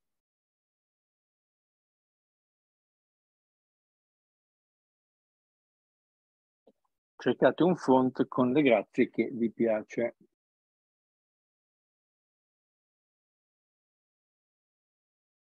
Quando l'avete trovato, diciamo che io posso essere interessato a questo, come si chiama, Claridon, mi sembra,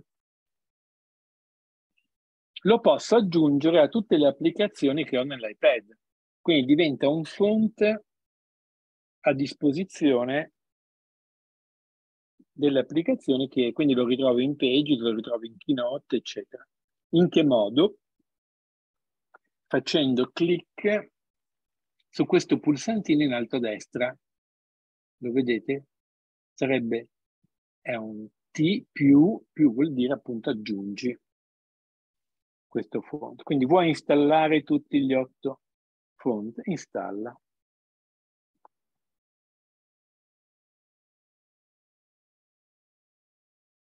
Installa font. I font tramite la rete potranno essere utilizzati da altre app. Perfetto, installa.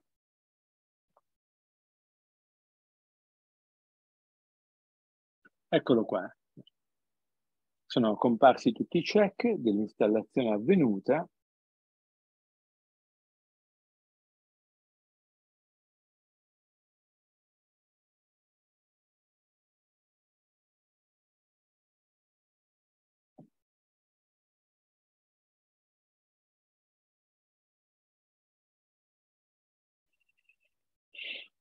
Bene, state provando? Sì, molti non sono inclusi nel pacchetto, ma comunque vabbè, ci si arrangia. Sì, dovete cercare quelli, quelli liberi.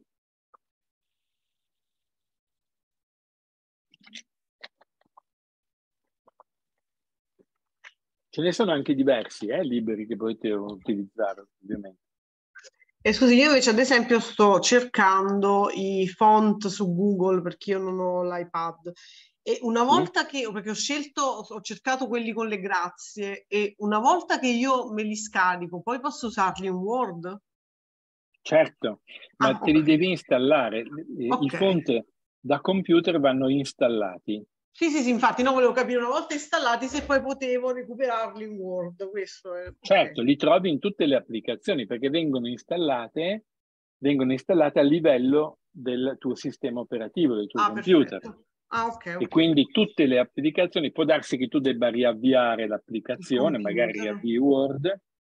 Ok. Eh, col Mac l'installazione è automatica, si vedono comparire immediatamente i fonti in tutte le applicazioni, non c'è bisogno di riavviare. Quindi dipende un po' quali sono le procedure, ma uh-huh. tutti i font che trovate in Google, in Google Font, sono gratuiti. Ok. Però per installare i font Google all'interno dell'iPad e del tablet occorrono delle procedure un po' più complicate, perché bisogna avere delle applicazioni specifiche per installarle.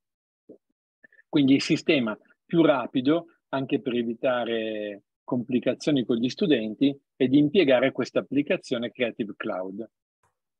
Scusa Alberto, posso fare una domanda per quanto riguarda sì, sempre sì, il Creative Cloud Fonts? Eh, mh, mm, mi puoi spiegare eh, il pallino celeste con la macchina fotografica e la T a che cosa serve? In basso? Ah, perché qui, ah, perché qui, tu, eh, tu utilizzi, sì, allora tu inquadri un testo sì. Vediamo un po'. Perché in teoria quello che ho capito, cioè io ho la possibilità di inquadrare sì. un testo e, e, capire che tipo di mi dice che tipo di fonte è, se non sbaglio. Sì, esatto. Ok. Poi selezioni il testo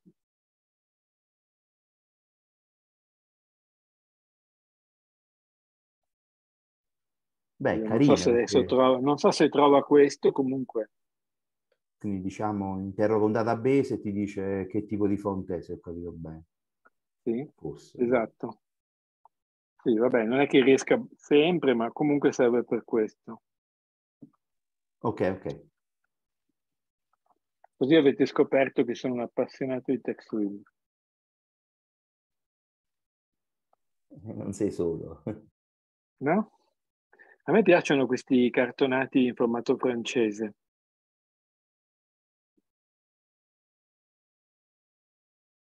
Dunque, dov'è? Qua.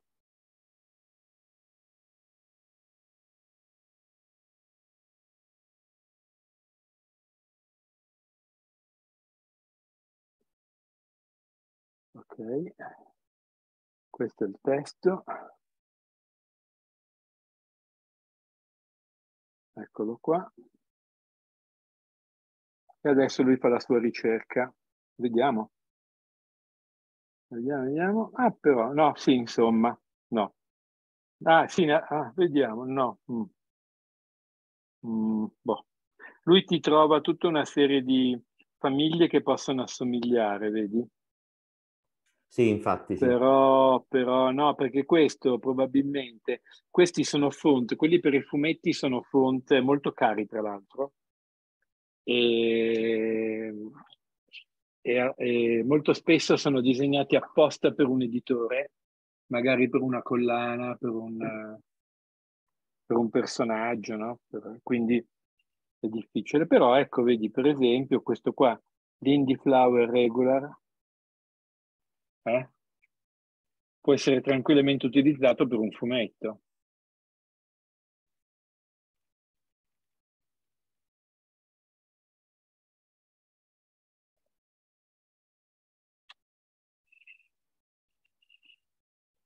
Quindi la stessa operazione la dovete ripetere per eh, cercare un font invece senza grazie bastonato. Ci servirà per i titoli. Per esempio, potete provare con un Source Sun Pro. Provate a fare questa ricerca così vi rendete conto di che cosa si tratta.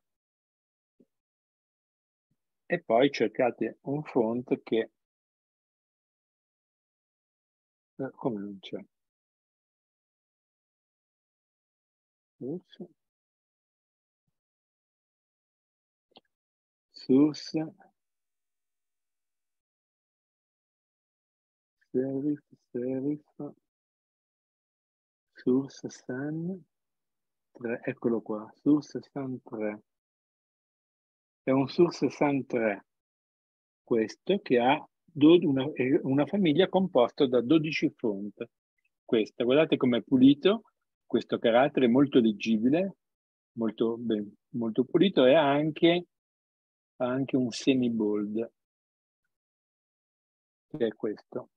Però se noi trovassimo un black, vediamo un po' il black, ecco, black per i titoli può essere più interessante. Proviamo a inserire un maiuscolo, vediamo cosa succede, tutto maiuscolo.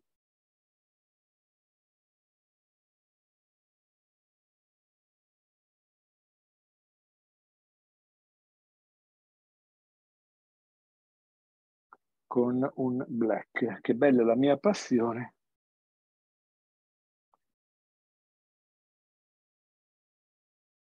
In modo che sia black. Ecco. Ecco, abbiamo, eh, se notate, passione, ha un bel carattere, corposo, si legge bene, lettere, le singole lettere sono ben distanziate, leggibili, ed è, ha, uno spessore adatto a una lettura di un titolo. Vediamo qualcosa d'altro. avevamo indicato un source sun, vediamo, source sun,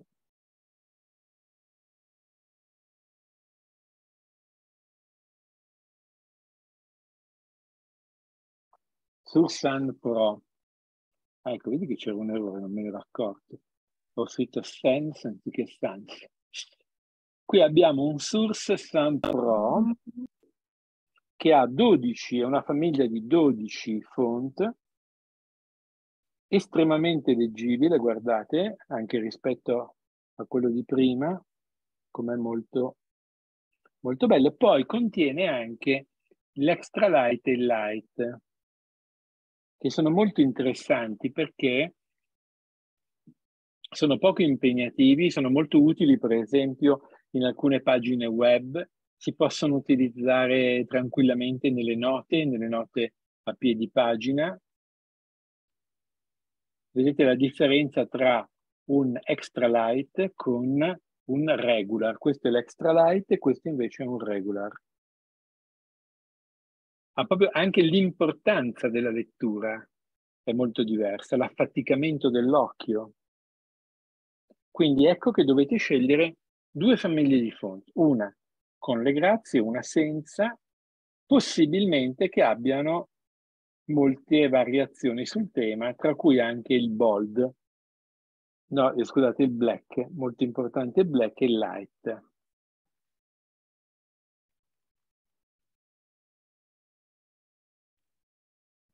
Ok, vi lascio 5 minuti, state facendo delle prove.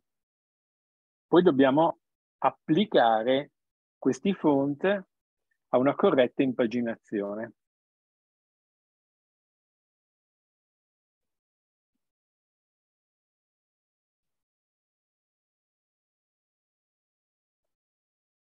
Siete morti? Esistete? Sì? Siete tutti attenti? Sì, sì, sì, ci siamo, ci siamo, ci siamo. Ma state preparando il tiramisù o state guardando il... Beh, un tiramisù non sarebbe eh. male. Eh no, perché è l'ora, eh? È quasi le 5. Vabbè, magari un po' di pausa dopo questa... Sì. Questa spiegazione. Facciamo. Due ore, magari i colleghi... Allora, facciamo così. No, certo, mi sono dimenticato. Sì, la pausa. Allora, facciamola adesso, perché una volta che voi avete individuato il font e poi l'avete installato, vi ricordate come si fa a installarlo? Ve lo rispiego? sull'iPad, eh, per chi ha l'iPad, eh, lo installa utilizzando questo pulsantino in alto a destra, T più. T più. Installa ed è a posto. Poi così io... ci vede... Sì. Volevo solo chiedere eh, la registrazione Dimmi. perché io tra una mezz'ora purtroppo ho un impegno preso precedentemente e dovrò uscire. Volevo sapere la registrazione sì. si verrà messa sempre su Classroom? Sì, sì, vi darò le indicazioni sempre su Classroom. Ok, grazie. Poi voi avrete un certo periodo di tempo per scaricarla, prima okay. che il corso, anche quando il corso sarà chiuso, avete un, ancora non so, un mese un po' di tempo, per usufruire dei contenuti, ok. Per scaricare, no, proprio anche per scaricarle, tenerle, certo. eccetera, perché poi le cancello, se no mi occupano poi troppo spazio. Certo. No? Chiaramente. Certo. Allora facciamo così, facciamo dieci minuti. Sì, dimmi, dimmi. Perdonami Alberto, scusami, dimmi. dice sì. regular black light e poi? Non ho capito, scusa, cosa volevi sapere? Sul Super Sans Pro eh, per il testo, sì. cioè che carattere dobbiamo scegliere? Il black light, no, regular? Tutti, tu, tutti e dodici. Ah, tutti. Tutti, tutti, li dovete avere tutti. Perché? Installo tutti voi avete una famiglia di fonte e noi la useremo tutta questa famiglia. Ok, allora li scarico tutti, tutti. Perfetto, grazie. Tutti, sì, benissimo. Allora facciamo così, ci vediamo tra dieci minuti, d'accordo? Sono le sei, no, sono le cinque, cinque e un quarto, va bene? Ok. Cinque, al massimo cinque e un quarto. Perfetto. Io ho bisogno di un poco di aiuto perché è andata via la, l'alimentazione elettrica e non ho seguito un sì. 10 minuti. Allora, per installare, stai parlando di 12 font, ma sì. a mia, mia, scelta o cosa? No, voi dovete installare due font. Ah, due soltanto, giusto? Okay. Ah, due, uno, uno uno senza grazie e uno con le grazie. E, okay, come, come, e come, come, si fa? Qual è il passaggio? Io pure io ho perso questo passaggio. Con la T eh, allora. all'applicazione di Creative Cloud, giusto? Io ce l'ho sì. Creative Cloud, l'ho, l'ho, scaricato, quindi vado su eh, Adobe, poi? Font? Poi, no, poi qui vedi sulla sinistra hai font, la categoria sì, font. Sì. Perfetto. Allora, devi guardare le istruzioni all'interno del compito. Sì, le ho lette. Quindi, perfetto, scegli un, un, un font con le grazie e uno senza grazie che appartengono a una famiglia. Cioè che e come, come me ne accorgo se ha le grazie o non ha le grazie? Perché i font con le grazie sono i font che hanno... Vediamo. Per esempio, questo è un font con le grazie. Queste sì. sono le grazie. Sono degli abbellimenti, delle okay. linee, delle linee in più, diciamo così per semplificare, che rendono agevole la lettura. Ok. E questi font servono per, non so, un romanzo, no? per, per il corpo, sì. quando devi leggere tanto testo. Va bene. Poi ci sono i font senza grazie, come questo. Vedi, mm. non hanno grazie. Sì, sì. E questi vanno bene per i titoli, le note e altre cose. Ok. Allora, puoi scegliere come font tranquillamente il Source Sun 3, lo ricerchi tramite la lente, ricerchi il Source Sun 3. Sì. E poi tramite il pulsante T più, questo pulsantino qua, T più, li installi tutti. Tutti, vedi, il font è diviso in si articola in una famiglia. Il fonte è sempre lo stesso, ma viene rappresentato in modo diverso, più spesso, meno spesso, eh, più sottile. Ok, li installi tutti. Ok, Un Source 3 l'ho fatto. Source Sans 3 l'ho scaricato. Perfetto, adesso ne scegli un altro invece con le grazie, che okay. pensi ti piaccia, che non affatichi la lettura. Io ho scelto questo, Super Claridon, questo qua, Super Claridon, che va bene anche, se no...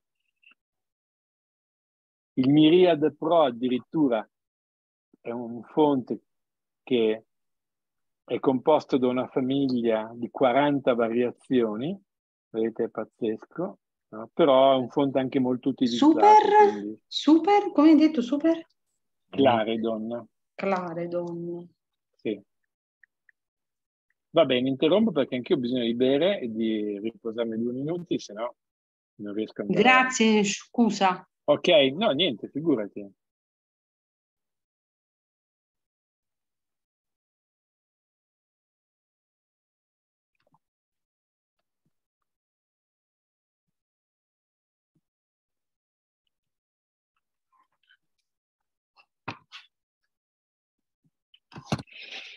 Bene, quando ci siete direi che possiamo riprendere.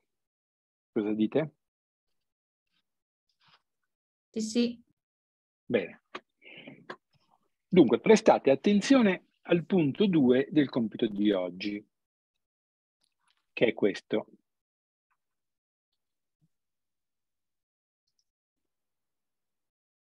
Beh, eccolo qua qua. Punto 2. Allora, abbiamo scelto i nostri due font eh, che in realtà rappresentano due famiglie con, che contengono tante variazioni. Adesso dobbiamo lavorare sugli stili all'interno di un documento Pages, quindi dobbiamo creare degli stili, lo fate con me uno per uno, con calma con calma ci ragioniamo e facciamo questa operazione. Dunque pa devo passare alla schermata dell'iPad. Ecco, quindi adesso sono nel mio iPad e apro l'applicazione Pages.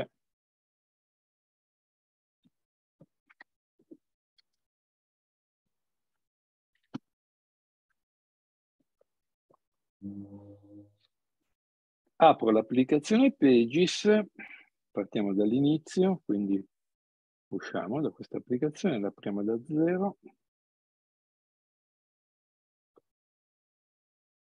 No, questo. View pages dov'è? Qua. Ecco, siamo all'interno eh, dell'applicazione Pages. Pages. Che cosa dobbiamo fare? Vediamo cosa dicono le indicazioni. Dicono che dobbiamo aprire un documento nuovo e poi creare degli stili adeguati. Quindi con il tasto più, questo lo sapete fare, naturalmente in alto a destra, creiamo il documento nuovo, prendiamo pure un documento vuoto,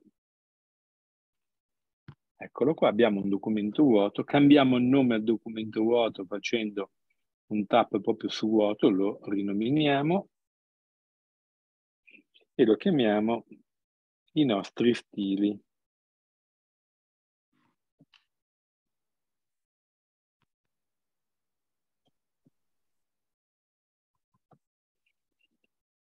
Adesso immaginiamo che il nostro documento sia così composto. Abbiamo un titolo, scriviamo proprio titolo, e sarà un titolo di capitolo. Poi ci sarà un titolo di paragrafo e poi ci sarà una spiegazione in corpo.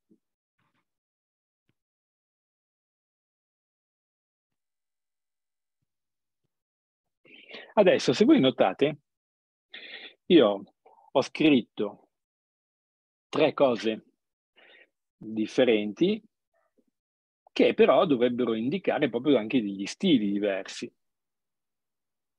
Voi che cosa fate normalmente e che cosa fanno i, i vostri studenti? Fanno così, prendono titolo capitolo? Mm, poi vanno su questa scheda che sia aperta, aumentano, per esempio così, va bene, 28, poi danno, non so, un grassetto, poi vanno a capo due volte, prendono titolo paragrafo, giusto? Anche voi fate così? Prendono titolo paragrafo, sarà un po' più grande di titolo paragrafo ma un po' più piccolo di quello di prima, poi ci sarà magari un bold, poi qui sarà, ah, vanno a capo naturalmente una, ne so, una volta, poi qui sarà, mettiamo 13, cambiamo fonte con, che ne so, questo. E poi vanno avanti a scrivere, no? Eccetera, eccetera, eccetera. Poi che cosa succede? Magari questo lo fate anche voi. Andate a capo e avete un nuovo titolo capitolo.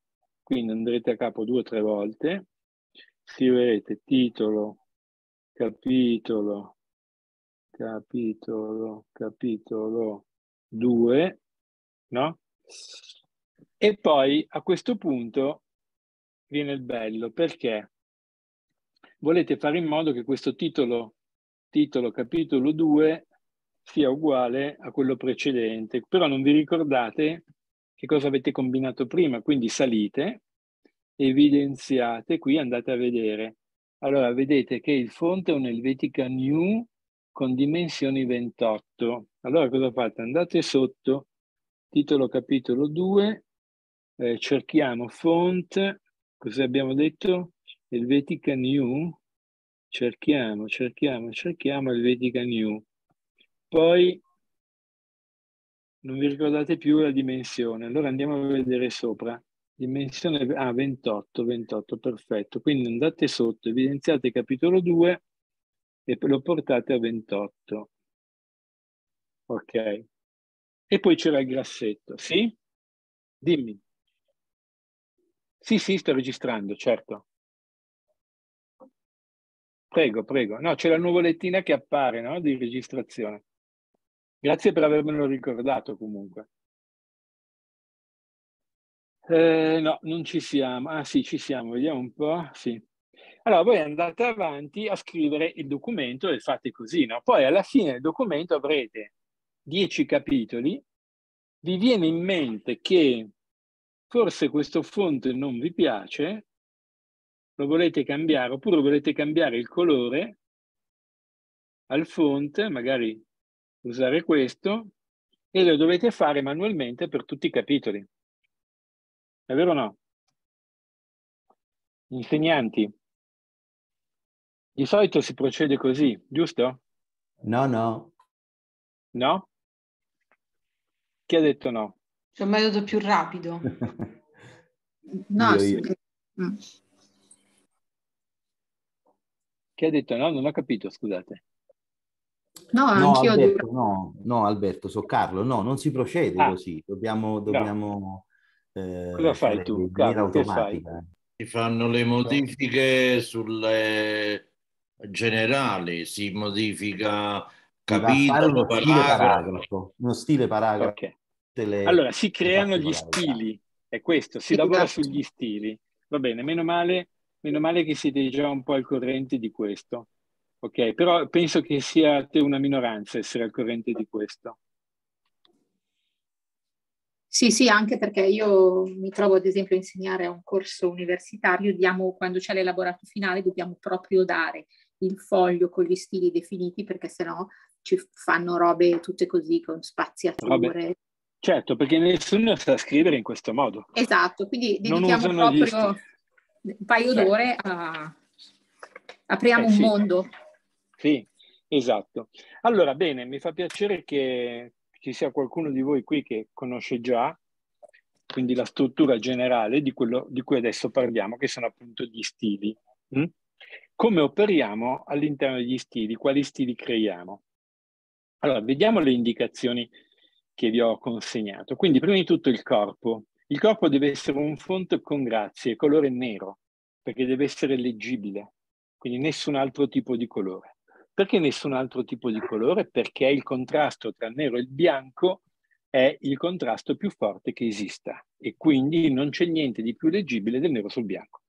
Voi pensate che io ai miei studenti all'inizio dell'anno scolastico a tutti quanti, vabbè, regalo un quaderno, eccetera, eccetera, ma regalo anche una biro nera e loro sono obbligati a scrivere sempre sul quaderno, e, per non parlare al computer ovviamente, sono obbligati a scrivere nero su bianco, non è accettabile blu o altri tipi di colori. Intanto perché porto anche sti occhiali, quindi vedete che non voglio diventare cieco. Poi corpo 13, interlinea 1-1, spazio dopo 6 punti, rientro prima riga 0,5. Quindi applichiamo, applichiamo, questo sistema. Quindi che, che cosa facciamo? Quindi scriviamo una frase, stiamo scrivendo lo stile corpo. Perfetto. Adesso noi facciamo questa operazione, evidenziamo tutto il nostro un pezzo della nostra frase, quello che è. Alberto, eh, scusa, poi, eh, sì? vedere eh, il tuo video è coperto da, dal ah, è vero, è vero, è vero, hai ragione, grazie. Bene, quindi siamo qua, così vedete anche la parte sulla destra, no? Giusto? Sì. Bene. Allora, vedete che qui c'è scritto stile paragrafo, no? E questo è lo stile del corpo. Lo, lo stile del corpo è diverso da quello che noi vogliamo creare. Cioè non vogliamo questo stile, intanto è senza grazie e a noi non va bene. Abbiamo detto che la facilità di lettura avviene con uno font con grazie. Quindi, stile paragrafo, che cosa faremo? Sceglieremo tra tutti i font, quindi cosa avevamo scelto con le grazie, adesso non mi ricordo cosa avevamo scelto, però per esempio io in questo caso, voi avete il vostro. Il Garamount, l'Adobe Garamount Pro cioè, suggerivi nel compito. Il, il? Garamount Pro, il Garamount Pro, Adobe sì. Garamount Pro. Però voi avete il vostro, chiaramente, no? Avete, avete fatto le vostre scelte. Sì, certo. Io adesso ne scelgo uno. Mm. Giorgia. Io, per esempio, io utilizzo spesso il Giorgia perché ha una grande leggibilità. Poi le dimensioni abbiamo detto 13, quindi lo portiamo a 13. Poi abbiamo detto che il colore del testo era nero, quindi la spaziatura invece abbiamo detto 1 e mezzo, va bene. Fa vedere, sì. Possiamo anche fare così, 1,1 come ho indicato, quindi scriverlo proprio manualmente.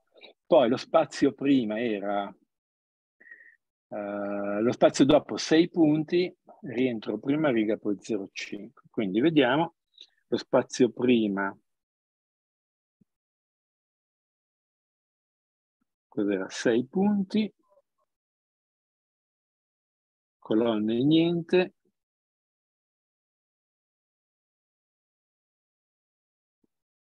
Dimensione corpo vediamo un po' ops scusate sono uscito se uscite dovete riselezionare la vostra parte e guardate che cosa succede. Appare il pulsantino aggiorna. Quindi lui aggiornerà lo stile corpo all'impostazione che abbiamo appena assegnato. Quindi facciamo così, aggiorna. Benissimo, adesso... Scusa Alberto, una curiosità, sì. l'aggiorno poi sarà um, così anche per i nuovi documenti? Certo, okay, esattamente. No, per i nuovi documenti no. Cioè, se tu dici apri un nuovo documento, no. Eh, ecco, allora ritorno no, sui infatti, default. Ok, grazie. No, inf- infatti, infatti dobbiamo creare un modello e utilizzeremo sempre quel modello lì. Perché appunto il, il lavoro che si, di, che si, sta realizzando diventerà un modello, non un documento di certo. Esatto, okay. bravo. Ok. Allora, io adesso cosa faccio? Vado a capo, non sto a riscrivere. Intanto vedete che sono andato a capo e ho lasciato uno spazio, una spaziatura. Sono i famosi sei punti che lui lascia a fine riga. Poi non sto lì a riscrivere, faccio incolla, vedete, vado a capo di nuovo, incolla. Ok, quindi abbiamo creato uno stile corpo, sul quale poi possiamo continuare a lavorare. Mi dice aggiorno, va bene. Oh, no, scusate, errore perché? Ecco, allora fatto, c'è stato un errore interessante. Questo puntino, sì, il puntino finale, è il puntino finale nel vecchio stile e non in quello nuovo. Quindi, che cosa devo fare? Devo prendere tutto il periodo e dargli come stile corpo su tutto. Non devo tralasciare naturalmente dei puntini. Allora, prima del corpo, però, dovremo inserire un titolo. Sarà qua, giusto? Quindi vediamo quali sono le indicazioni per il titolo. Titolo capitolo. Quindi qui dobbiamo prendere un font senza grazie, con un colore chiaro, corpo 30, famiglia black interlinea 1. Allora, cosa vuol dire con un colore chiaro? Voi avete fatto la scelta della vostra palette. La vostra palette doveva avere almeno tre colori, quindi doveva avere un colore un po' più chiaro, un colore un po' più scuro e un intermedio. Adesso, come ci comportiamo? Scriviamo titolo, sarà il titolo capitolo, va bene. Poi selezioniamo naturalmente Alberto, perdona, mi leva sì? il compito Classroom, scusa. Sì, dimmi tutto. No, c'è il compito Classroom che non fa vedere le operazioni che fa in Pages. Ah, ah, sì, sì, scusa. Eh già. Abbiamo evidenziato quello che dovrà essere il titolo capitolo, poi scegliamo a questo punto il font senza grazie, quindi voi sceglierete quello che avete, che avete stabilito.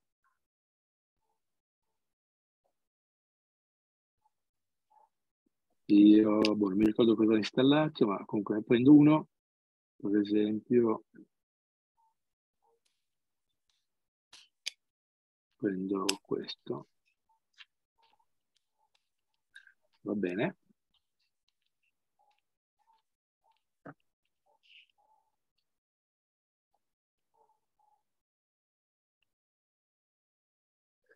E poi le dimensioni, vediamo un po', erano, cosa abbiamo dato?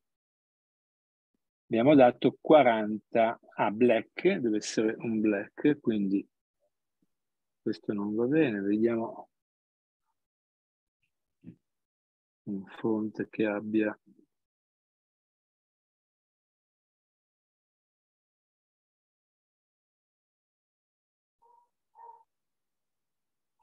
una famiglia completa.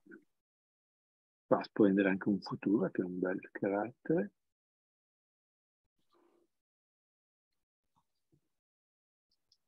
Eccolo qua. Ha un condenser, però non ha un black, un futuro.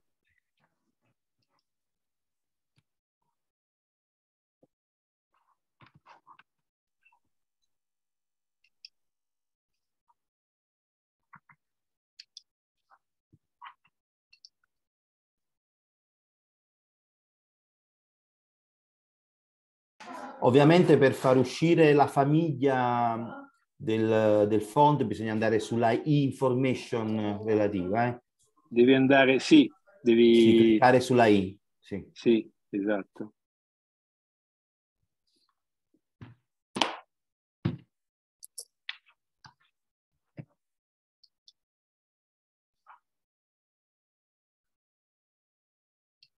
Medio.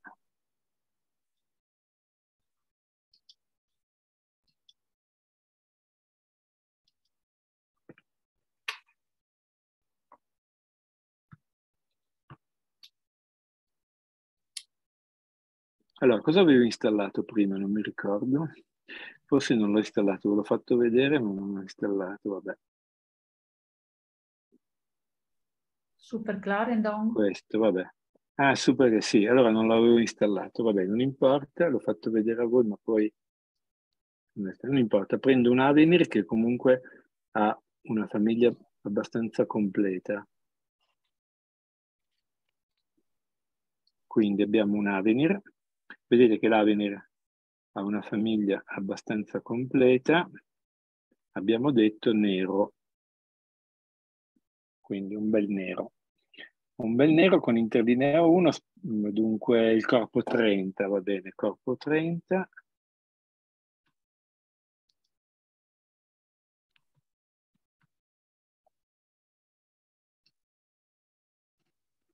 Eccolo qua colore, allora, colore testo.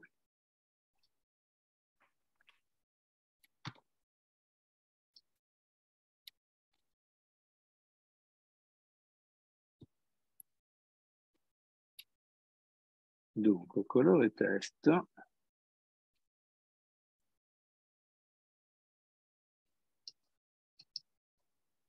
Dovete scegliere il colore, dunque, dove si mette qua? Dovete scegliere un colore chiaro in questo caso. Perché? Perché eh, il titolo del capitolo poi con quelle dimensioni è molto leggibile, anche se il colore è chiaro, quindi lo distinguiamo.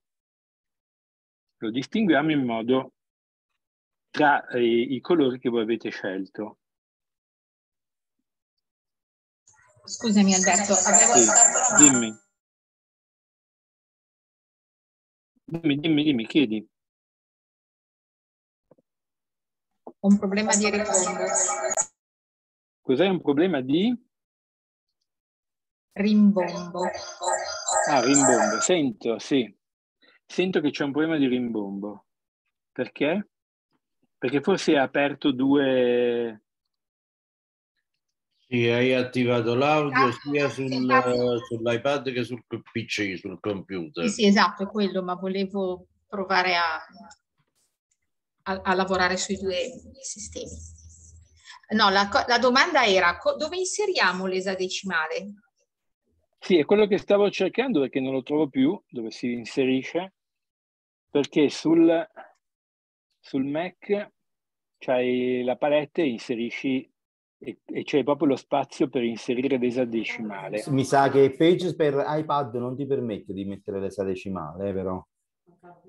Eh, però ti permette di prendere di prendere un'immagine, vediamo un po'. No. No, l'avevo fatto dall'iPad, dunque, no, no, c'era la possibilità di inserire l'esadecimale, ma come?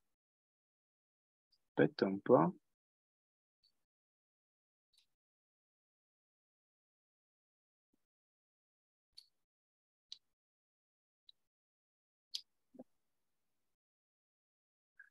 Allora, gradiente non mi interessa. Angolazione applica gradiente all'intera pagina, no.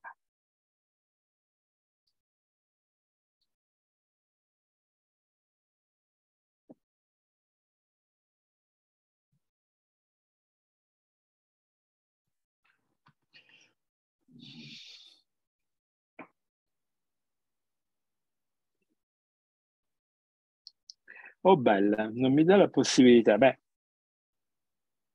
allora, adesso non voglio perdere troppo tempo, però cosa facciamo? Inseriamo un'immagine, l'immagine famosa che aveva, che eh, avevate,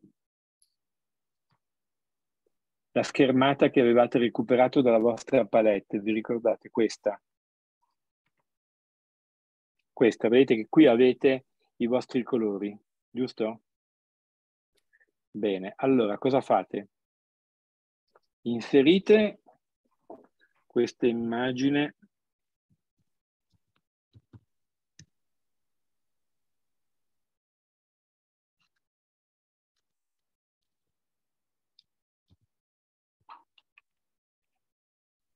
Qui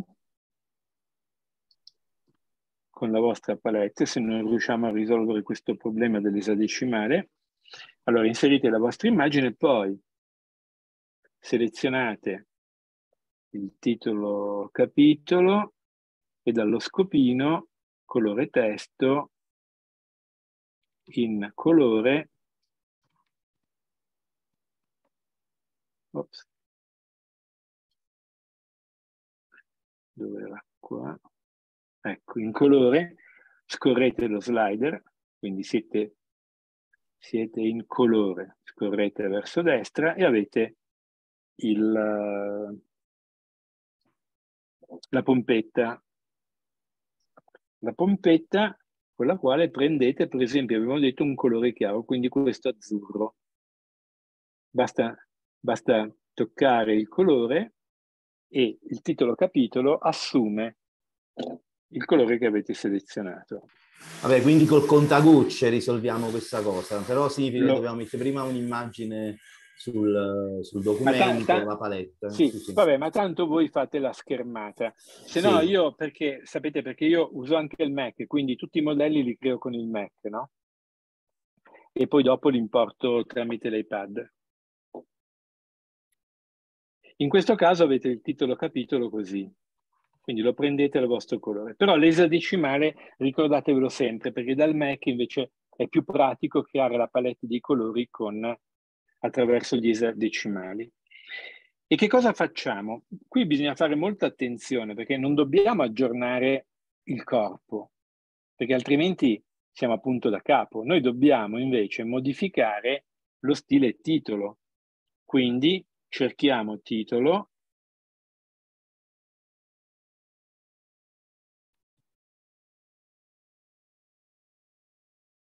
Ops.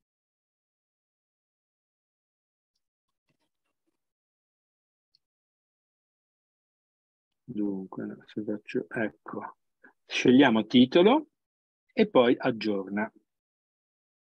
Quindi abbiamo scelto come fonte titolo e poi l'abbiamo aggiornato.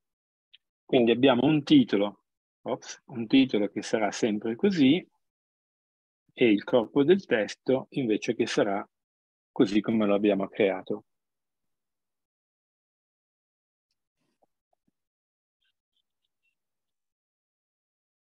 Sì, guarda, devo, devo evidenziare il titolo con le caratteristiche giuste che abbiamo attribuito. E poi, anzi facciamo così, torniamo indietro, così rifacciamo le operazioni. Allora, abbiamo scritto un titolo.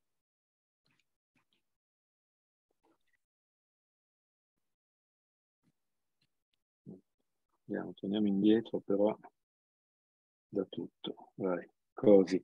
Abbiamo scritto un titolo. Hm? Eh, l'abbiamo scritto però all'interno del corpo, perché abbiamo, abbiamo inserito il testo e siamo all'interno però dello stile corpo. Non importa noi attribuiamo tutte le caratteristiche necessarie, poi scegliamo il colore. Scegliamo il colore attraverso la nostra pompetta, scegliamo, abbiamo detto, un colore chiaro, questo, e poi dobbiamo fare in modo che queste le caratteristiche del titolo capitolo siano applicati non al corpo, ovviamente, ma, ma al, allo stile titolo. Quindi, con questo, questa freccetta che c'è qui a destra, noi arriviamo a tutti i titoli, facciamo tap su titolo, facciamo un tap solo su titolo, compare il pulsante aggiorna perché lui vede che eh, lo stile non corrisponde e quindi a questo punto stabiliamo si aggiorna. Aggiorna e vedete che anche nella forma gli stili assumono le caratteristiche che abbiamo attribuito loro. Poi guardate che cosa... Sì, no, prego. Poi guardate che cosa facciamo. Utilizziamo questo pulsante modifica modifica per portare il corpo sotto il titolo e poi per cancellare una serie di cose che non ci interessano. Li togliamo tutti questi titoli che non ci interessano, questi, questi stili che non ci interessano. Li ricreiamo da zero, tutti quelli che possiamo ricreare da zero.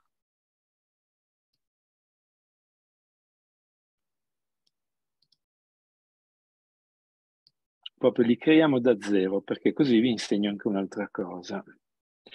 Quando vogliamo eliminare uno stile, lui mi dice eh, a quale stile associarlo, scegliamo il corpo normalmente e lo togliamo. Quindi abbiamo nel nostro documento, abbiamo un documento creato con due stili, lo stile titolo e lo stile corpo. Poi abbiamo detto che procediamo con Scusa Alberto. Sì, dimmi. Potresti un attimo ripetere perché mi sono persa proprio l'ultimo passaggio, per favore, grazie. Figurati. Guarda, eravamo qua, abbiamo visto che abbiamo degli stili che non ci interessano qui, giusto? Mi segui? Sì. E con il pulsante modifica li togliamo per non avere complicazioni, specialmente quando forniamo agli studenti un modello precostituito. Lasciamo il documento pulito solo con gli, stili, gli stili che abbiamo creato. Adesso Grazie. io sto cancellando, no, no, aspetta. Adesso io voglio cancellare, per esempio, questo, questo stile che si chiama intestazione. Faccio tap sul pulsantino, elimina e lui mi dice, però lo stile intestazione io non te lo voglio eliminare così, forse perché, boh, c'è qualche parola, qualche paragrafo che l'ha utilizzato. Con cosa lo vuoi sostituire? Noi diciamo sempre corpo, poi sceglieremo lo stile idoneo per quel punto. Così tolgo anche stile intestazione piedi e pagina, attribuisco lo stile corpo e lo tolgo. Tolgo anche nota di pagina, elimina e clic su fine e mi ritrovo con i due titoli che ho creato. Ok? Grazie. Benissimo, quindi abbiamo un titolo capitolo, poi abbiamo un titolo paragrafo anche, quindi scriveremo titolo paragrafo. Questo titolo paragrafo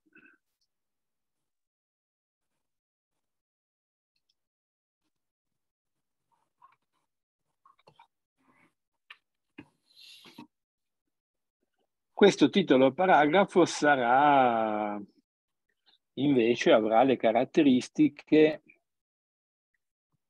quindi un fonte senza grazie, colore chiaro o intermedio, interlinea 1, famiglia eventualmente semi-bold, spazio prima 20, spazio dopo 9. Queste sono le caratteristiche. Adesso, siccome le avete tutte indicate qui, le caratteristiche, è inutile che io le applichi esattamente con precisione. Facciamo una, un'applicazione di queste caratteristiche in linea di massima eh, che possa distinguerli. Se vado in alto nei fonti, io ritrovo sempre gli ultimi fonti utilizzati, quindi lo stile titolo capitolo e titolo paragrafo si basano sullo stesso font,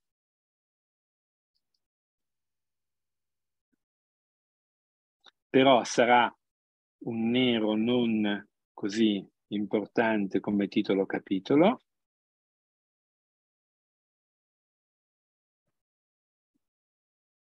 Per quanto riguarda il colore, quindi scegliamo dalla, dalla nostra palette un colore che può essere anche quello di prima, perché tanto abbiamo una distinzione molto evidente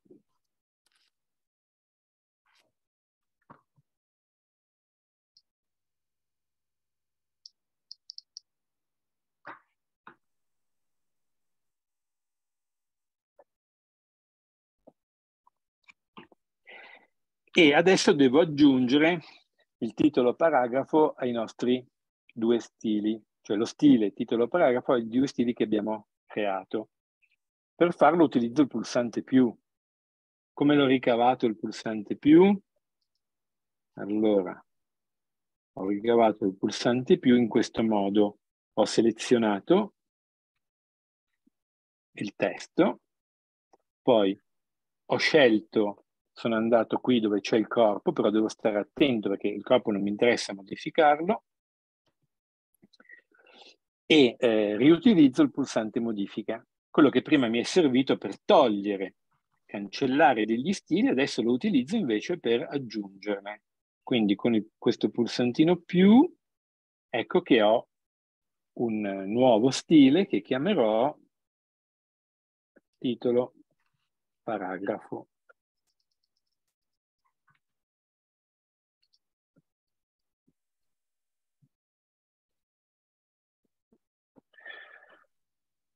Proseguendo in questo modo posso creare lo stile de- delle note e lo stile della citazione. Quindi, ricapitolando, prestate grande attenzione a questo punto. Noi non abbiamo bisogno di creare tanti stili, ma di creare questi eh, cinque, che sono il corpo, poi la citazione, che serve appunto quando citiamo dei passi, le note, cioè le note a piedi pagina o a, fine documento, poi il titolo capitolo e il titolo paragrafo.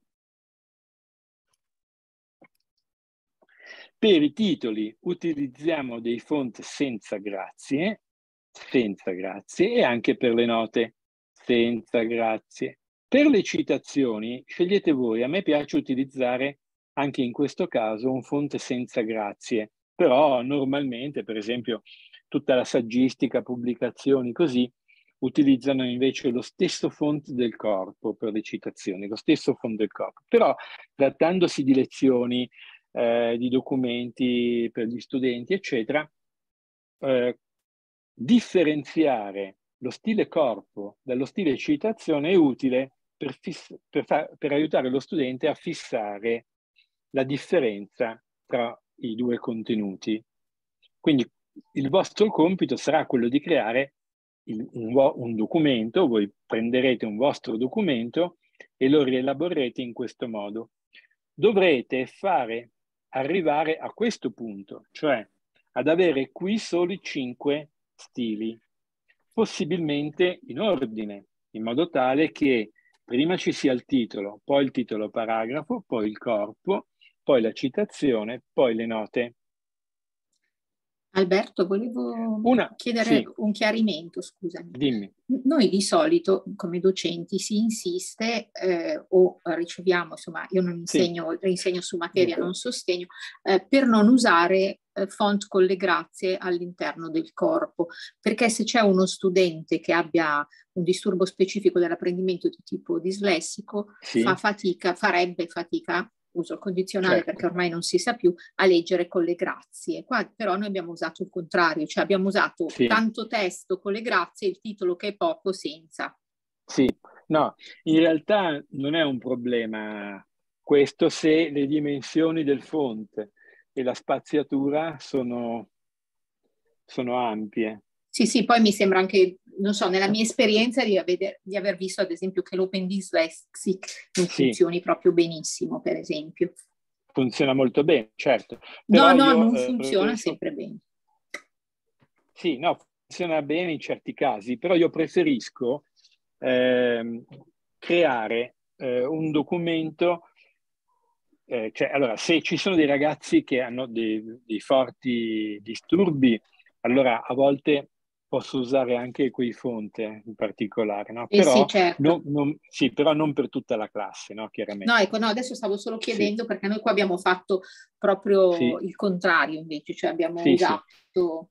Eh, certo, vabbè, niente, perché, era solo vabbè, così un approfondimento, perché, diciamo, epistemologico. Perché abbiamo seguito le, le regole di leggibilità eh, standard.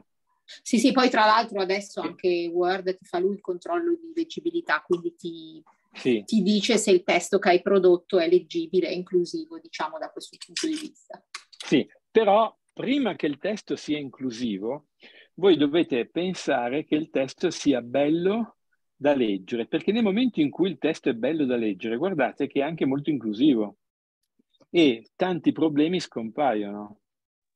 No, no, sfondi una porta aperta nel senso, però eh, sì, sì, questo testo è leggibile anche da ragazzi dislessici, la, senza grossi problemi, o, o, perlomeno con gli stessi problemi che hanno se noi cambiamo fonte, li utilizziamo. Tra l'altro abbiamo fatto degli esperimenti anche sulla velocità di lettura, ma la velocità di lettura con fonte specifici varia di microsecondi, non è così fondamentale. Cioè, sì, no, no, infatti, variaz- anche nella mia, mm, anche nella eh, mia esperienza. Variaz- eh, le variazioni a cui abbiamo assistito sono minime.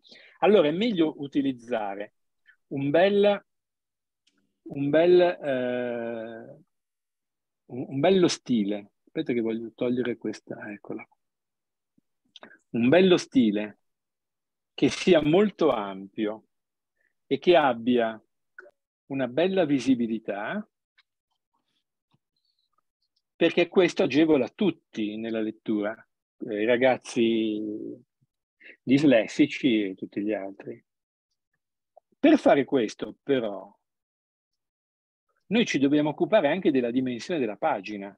Attenzione, perché uno dei principi appunto di leggibilità importanti da seguire è che la pagina non dovrebbe contenere più di 1800 battute, spazi compresi.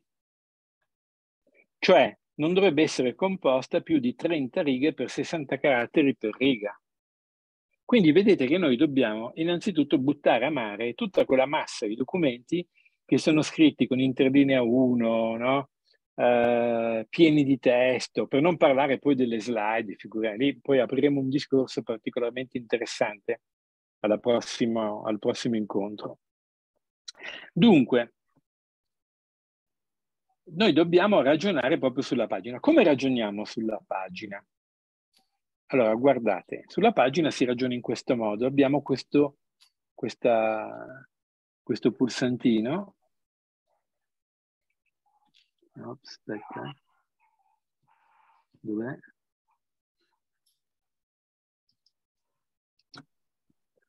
Allora, dov'è che dall'iPad io sistemo la pagina?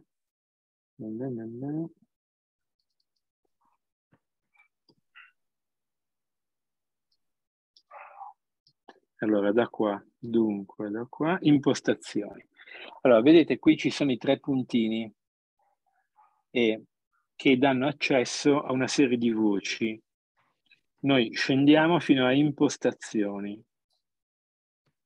Impostazioni, modifica. Ah, aspetta, dov'è?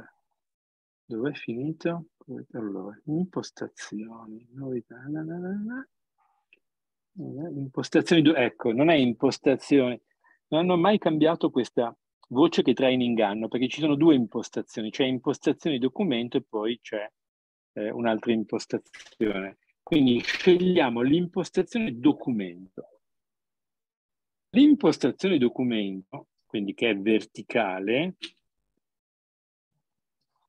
ci presenta, l'impostazione documento, qui sotto più opzioni.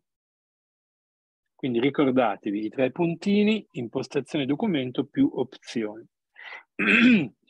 eh, qui noi manualmente addirittura possiamo regolare proprio graficamente come appare il documento sulla pagina.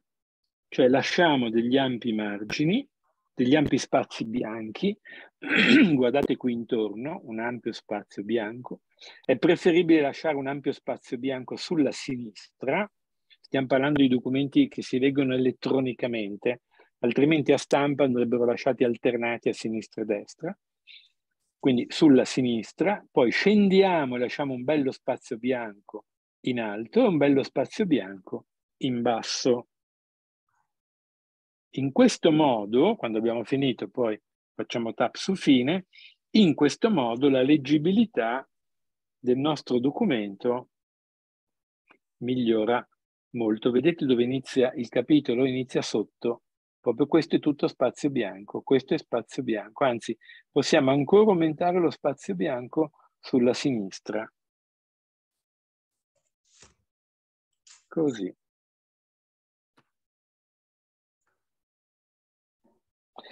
Adesso guardate eh, che cosa faccio. Faccio una cosa un po' curiosa, cioè devo riempire, devo riempire di testo questa pagina per poter capire quanti sono i caratteri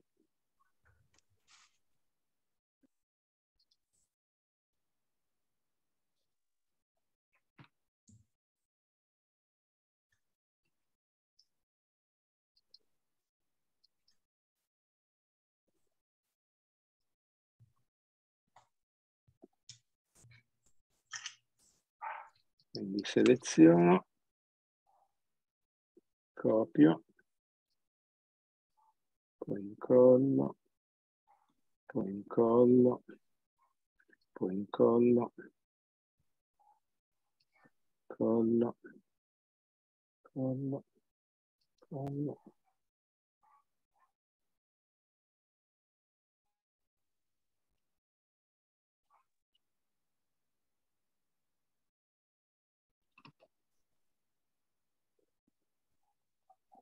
Oh, ho ottenuto una pagina e qualcosa. Vediamo su questa pagina quanti caratteri abbiamo. Ci dice che ne abbiamo 1596. Facciamola così, siamo, eh, così abbiamo la nostra pagina pulita. Siamo a 1485 caratteri.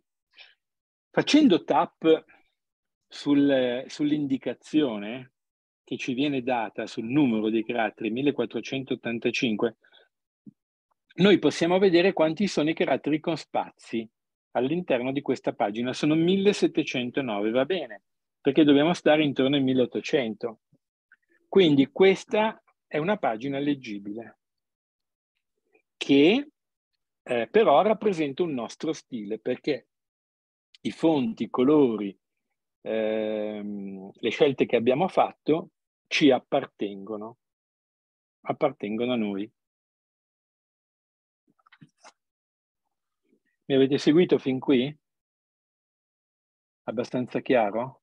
Sì, sì. Ah, qualcuno ha alzato la mano, però io non, non vi vedo perché sono concentrato ovviamente sul...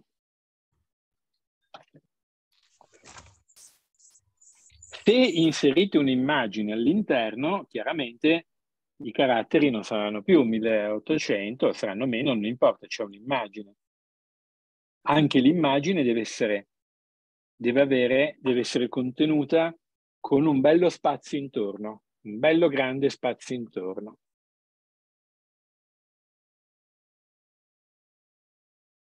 Ci siamo? Sì, sì. Sì, perché adesso dobbiamo esportare questo documento come un nostro modello.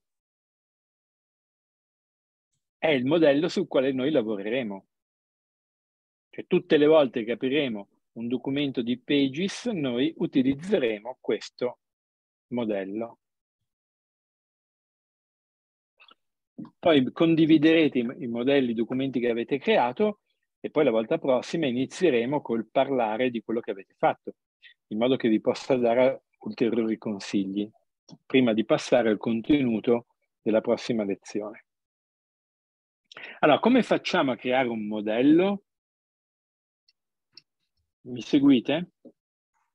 Cioè, come facciamo a trasformare questo documento in un modello che possiamo utilizzare o distribuire ai nostri studenti? Tramite il pulsante Esporta. È molto semplice. Lo esporto in tutti i formati che voglio, qui c'è scritto modello di Pages. Lo esporto come modello di Pages. Lui però che cosa fa? Mi offre due opportunità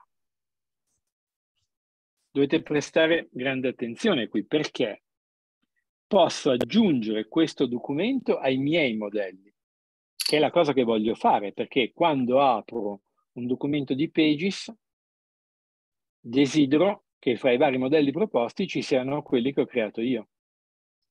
Oppure posso anche inviare questo modello a qualcuno e quindi lo invierò a tutti i miei studenti per dire guardate ragazzi, che d'ora in poi, per tutto ciò che riguarda geografia, questo è il modello bene, allora proviamo a dare i nostri modelli. Aggiungi ai modelli.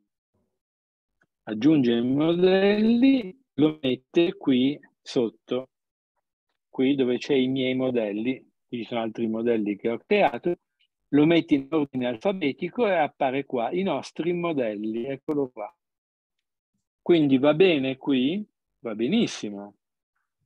Noi diciamo che questo è proprio il suo posto. Perfetto.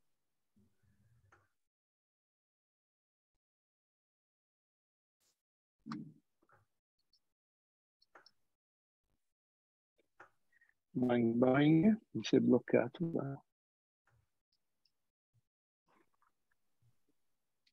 Boh, basta, me l'hai messo. Allora, che vuoi?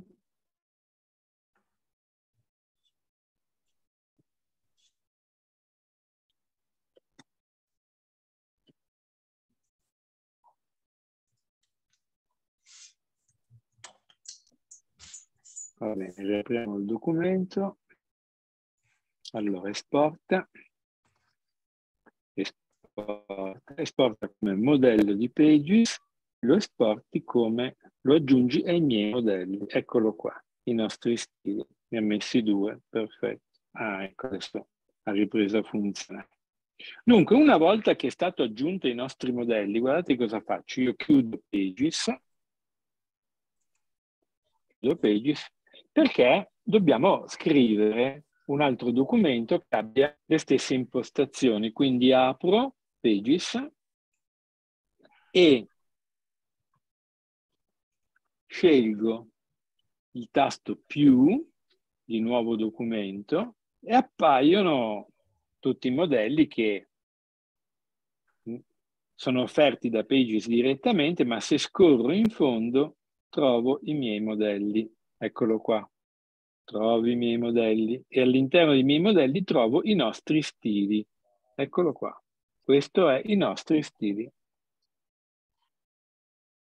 E quali sono gli stili associati a questo modello? Sono quei tre, adesso io ne ho creati solo tre, voi dovete crearne cinque, ma abbiamo solo ed esclusivamente quegli stili che hanno il nome che noi abbiamo stabilito che debbano avere, tra l'altro.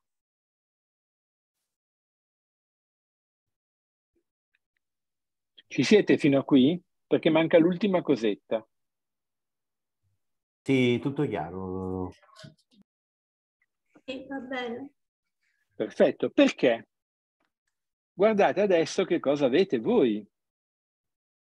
Voi avete nel compito, qua, qua, l'1-2 del 22 agosto, che cosa avete? Voi avete associati dei modelli. Quindi avete modello di Franz template e modello di Franz zip.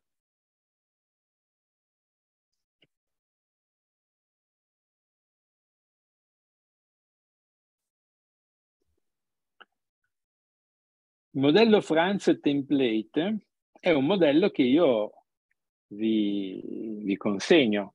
Come fate a installarlo nell'iPad? Ah, avete anche la versione link, tra l'altro, no? Perché qui appare... Dunque non c'è la versione col link, perché avete tre possibilità di utilizzare questo template. riapro la lezione e qui ecco ne avete tre, esatto, avete anche il link, benissimo. Dunque, eh, sono questi tre esattamente tre modi di distribuire un template. Il primo, prendiamo il primo, faccio un tap sul primo questo. Prendiamo modello Franz template. Faccio un tap. Bene. Poi gli dico, scelgo condividi.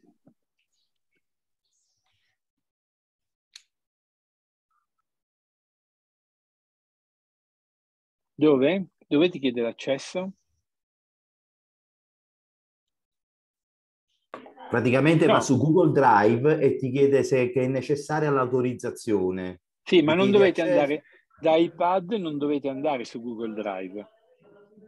Eh, ma se faccio tappo su quel, su quel... No, fai un tap prolungato.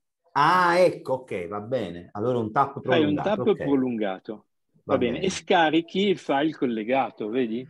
C'è scritto scarica, fai un tap prolungato e scarichi il file collegato.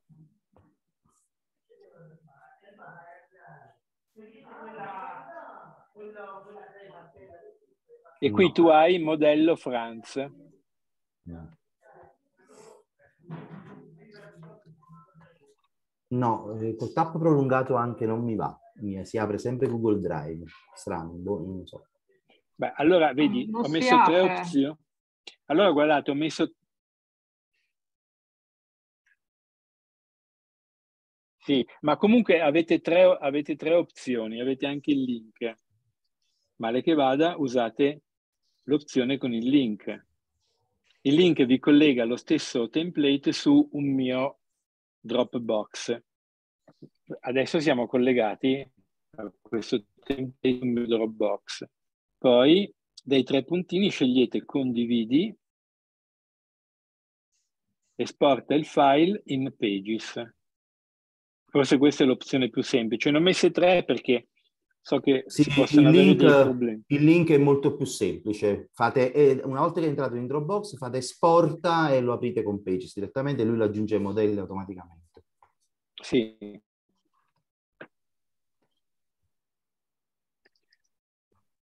Quindi ricapitoliamo, siamo all'interno degli allegati alla lezione, scegliamo il link apri in Dropbox, no scusate, sì, eh, ops, dov'era? Apri in Dropbox, eccolo qua, apri in Dropbox, poi in Dropbox vi appaiono questi tre puntini e da questi tre puntini voi avviate la condivisione, vedi, condividi. Quindi condividi. Scusa, ma a me dice accedi oppure regi, regi, registrati. Sì, perché è da Google. Lo stai aprendo da usa il, il link. Sì, sto usando il link. Oppure cosa dice? Ah, stai usando il link, quindi sei in Dropbox. Sì. Bene, e che cosa ti chiede? Eh, allora, o dice scarica, poi dopo, poi su, sì, in alto a destra... Scarichi, sì, no, scarica, scarichi, scarica, scarica. Lo scarichi e poi... Lo poi scarichi, lo una volta scaricato lo apri con Pages. Fai apri in Pages e lui lo dovrebbe, in Pages lo aggiunge ai modelli sì. automaticamente. E lui ti chiede, vuoi aggiungere i modelli? Esatto. E tu lo aggiungi. Uh, Alberto, chiedo scusa. Sì. Volevo suggerire ai colleghi eh, sì. i modelli, chiamateli con, diciamo, affiancando al, al, nome del file il suffisso template, in modo che così quando aprite un file non correte il rischio di cancellarlo, di cancellarlo, insomma. Cioè io i modelli li chiamo sempre, per esempio, mio modello template, template sì. Sì, template... Eh non so, template, template o modello, insomma quello di, che si vuole. Lezione di geografia, template. Se no si rischia di avere, di avere, eh, se no si rischia di avere sì. lo stesso nome del file, se si vuole cancellare si rischia di cancellare il template anziché sì. il file. Okay. Certo. Eh, sono riuscita, anche se compaiono Franz 1, Franz 2, Franz 3 perché l'ho scaricato. Sì, vabbè, volte. certo, lo scaricava, vabbè, poi cancelli, togli, eccetera. Ecco, Grazie. questo per esempio, quello che avete, quello che avete è un mio template per, mh, mm, che, con i miei colori e i miei font. Però se voi non li avete, quei font lì, ovviamente lui li sostituisce, no? È chiaro. Adesso che cosa dovreste fare? Noi siamo arrivati alla conclusione di questo primo incontro. Va bene, che cosa dovreste fare? Dovreste creare proprio un vostro modello in modo tale che poi la volta prossima ne possiamo, possiamo dedicare l'inizio della lezione a questo. La volta prossima è dedicato a Keynote. Keynote vedrete usato in un modo molto diverso da quello che viene normalmente impiegato da insegnanti o studenti. Quindi creeremo attraverso la strutturazione in modelli dei veri e propri quaderni. Molto interessante questa cosa.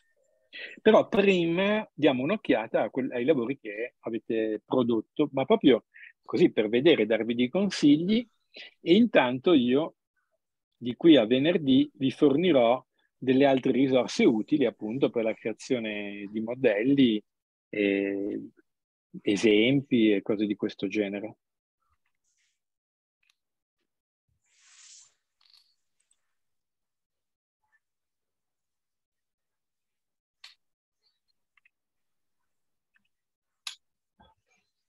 Ok, che dite?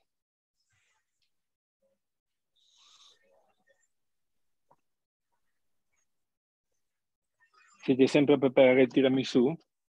No, assolutamente. No.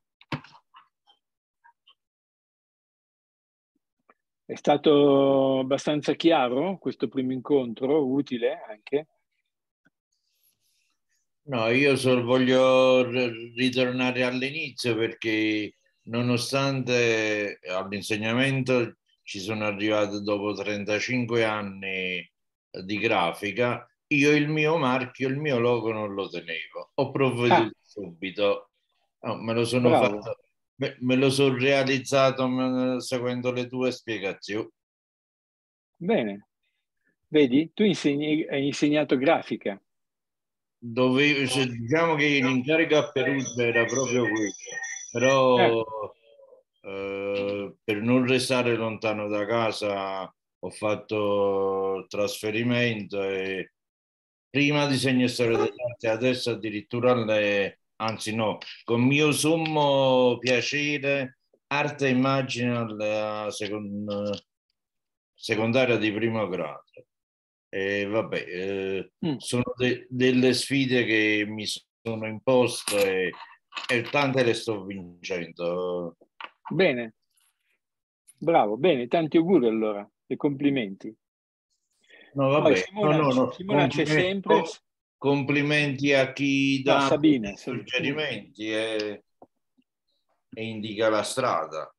Quindi grazie sì. a te. Voi ave, avete ricevuto oggi una cosa che serve a voi, ma anche una procedura completa di lavoro con i vostri studenti. Quindi regole di ingaggio, le mie passioni, poi cercare i colori che rappresentano la vostra passione, eh, i, quindi cercare due font, uno con grazie e uno senza grazie, questi font che appartengano a una famiglia ricca, che rappresentano una famiglia ricca, quindi poi costruire il modello in page, un modello che deve avere non più di 1800 battute, ampi margini, spazi bianchi, testi grandi, leggibili e ben ordinati. Grazie Umberto. Da, da, quando è possibile sen- risentire la registrazione? Quando verrà emessa? Eh, adesso ci vorrà un po' di tempo. Ma prima della successiva lezione, no? Entro stasera è possibile così? No, no, no, stasera no, perché sono in vacanza anch'io ed è un'operazione piuttosto lunghetta. Perché devo andare a ricordare, no, ci vorrà un po' di tempo.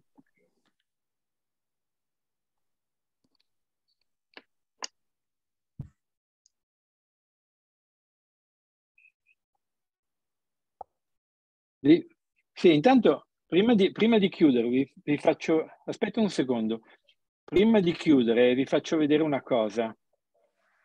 Questa, questa è l'impaginazione di un, di un, documento che sto scrivendo, sono delle analisi testuali, no? Non è ancora, non è ancora ben, ben articolata, però siamo in Pages per Macintosh. All'interno di Pages per Macintosh ecco che abbiamo la possibilità di registrare la nostra palette dei colori qua. Vedete? Abbiamo la possibilità di trascinare il colore e poi abbiamo la possibilità di usare anche l'esadecimale, che è questo. Sì, ovviamente la versione per Mac è più... Eh sì, certo. È più completa. Al... Eh sì. Basta, Beh, volevo beh. solo dirvi questo. Eh, perdono, io è una cosa che volevo appunto mh, mm, togliermi il dubbio, ma sì? eh, diciamo che ci sta la con- compatibilità e la condivisione in, tutte, in tutti i device eh, Mac, ma sì. eh, mica è obbligatorio far, fare progettazione sul, sull'iPad? Perché io no, no No, per esempio, certo. utilizzo, Noi... utilizzo, il mio Mac, il, l'iPad sì, per la comodità, trasportabilità e altro per interfacciarlo con le LIM e tutto quanto. Però io ci tengo i documenti che gestisco a livello di progettazione sul certo. computer. Certo, Quindi certo. Non, non no, ci sia questo vincolo. No, no, no, no, questo corso è prevalentemente orientato ai pad perché diversi insegnanti hanno chiesto questo perché nella loro scuola eh, sono stati introdotti dei iPad, quindi abbiamo un occhio privilegiato all'iPad, ma per questo motivo. Mm-hmm. Poi le, le, le, procedure che io vi ho elencato, per esempio, anche chi di voi utilizza Windows con Word, naturalmente va a cercare in che modo quelle procedure possono essere realizzate. Quello che conta è il metodo, sì, sì, il metodo sì. e il cambiare, è proprio cambiare una prospettiva, cioè i documenti devono essere impaginati e rappresentare uno stile che è proprio. Lo stile arriva tramite la scelta dei colori e i font, questi due elementi, mentre la leggibilità deriva dalla disposizione del testo sulla pagina. Sono due elementi diversi che si combinano e creano appunto questo stile e questa leggibilità. Ok, chiarissimo.